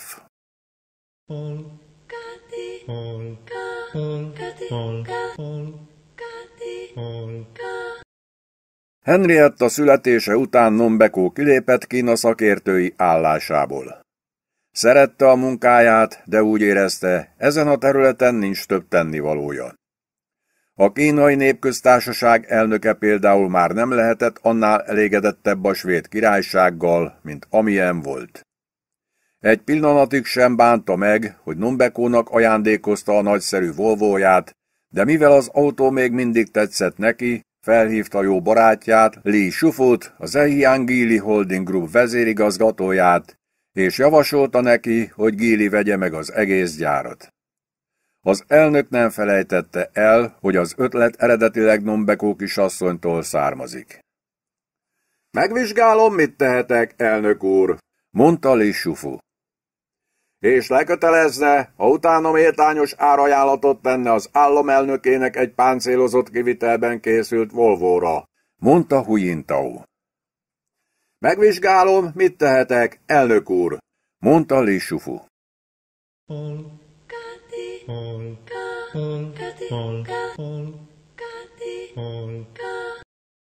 A miniszterelnök virágcsokorral a kezében jelent meg a szülészeten, és gratulált Nombekónak és Holgernek a kislányhoz. Nombekónak külön köszönetet mondott Kína szakértői minőségében végzett munkájához.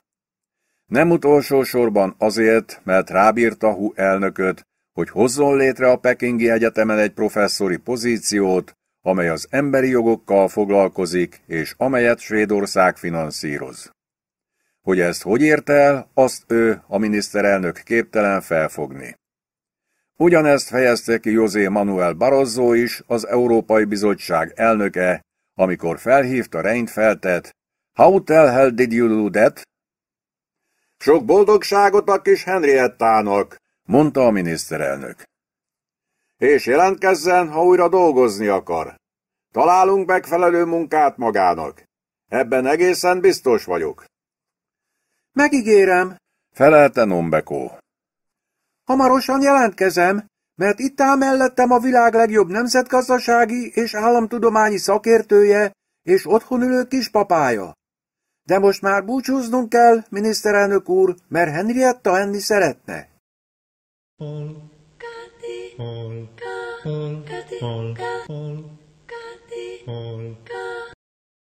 2010. február 6-án Hu Jintao, a kínai népköztársaság elnöke hivatalos látogatásra érkezett Johannesburgba. Az Oliver Tambo nemzetközi repülőtéren Nkoana Masabane külügyminiszter és egy egész sor fontos ember fogadta. Hu elnök az üdvözlésekre adott hivatalos válaszbeszédében Kína és Dél-Afrika közös jövőjéről beszélt, reményének adott hangot, hogy országaik között erősödni fognak a kapcsolatok, és hogy a világ közéletében is egyre nagyobb szerepet kapnak a béke és a haladás hívei. Csupa olyan dolgot mondott, hogy aki akarta, el is hihette. Ennek befejezése után kezdetét vette a kétnapos, sűrű elnöki program, melynek végeztével az elnök tovább utazik az afrikai körútja soron következő országába, Mozambikba.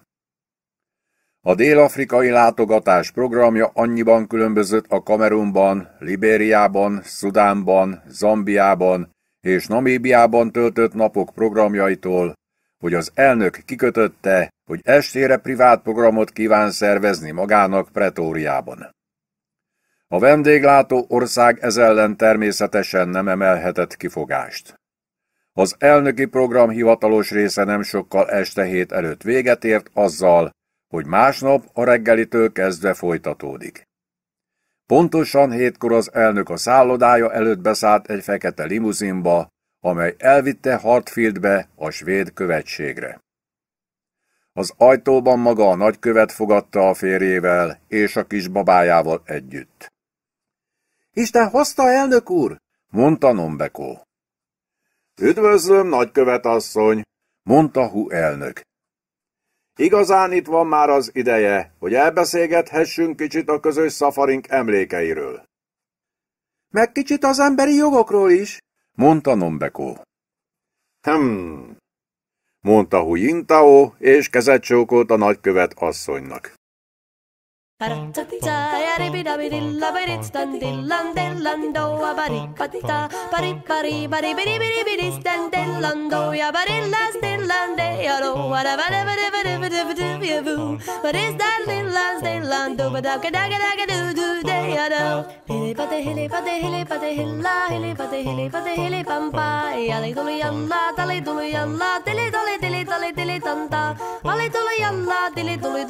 Dili dili dili dili tili dulu dalla hali tuli tili tali jalla tiallan, tili tali tali tali helilanta.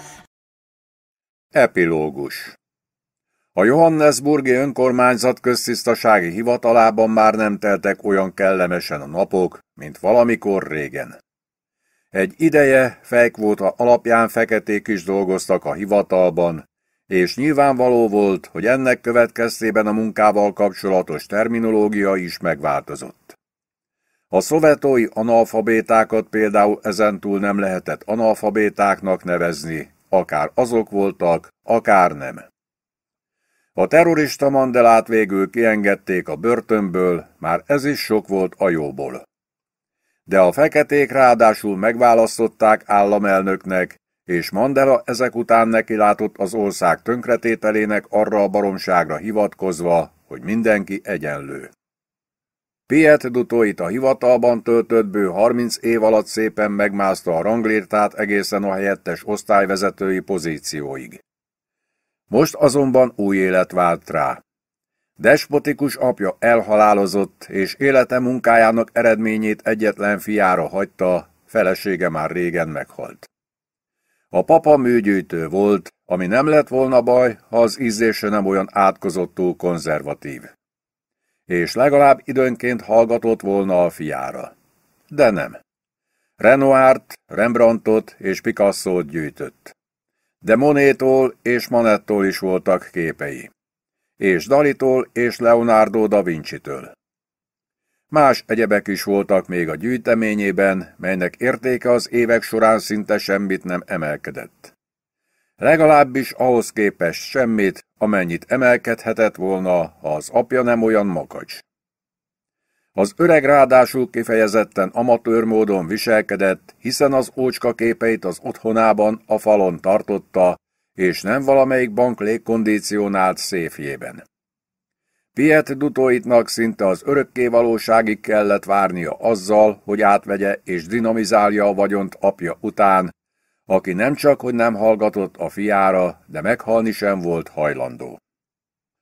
A fiú pillanata csak az apja 92. születésnapja után jött el, amikor is egy gerez alma megakadt az öregember torkán.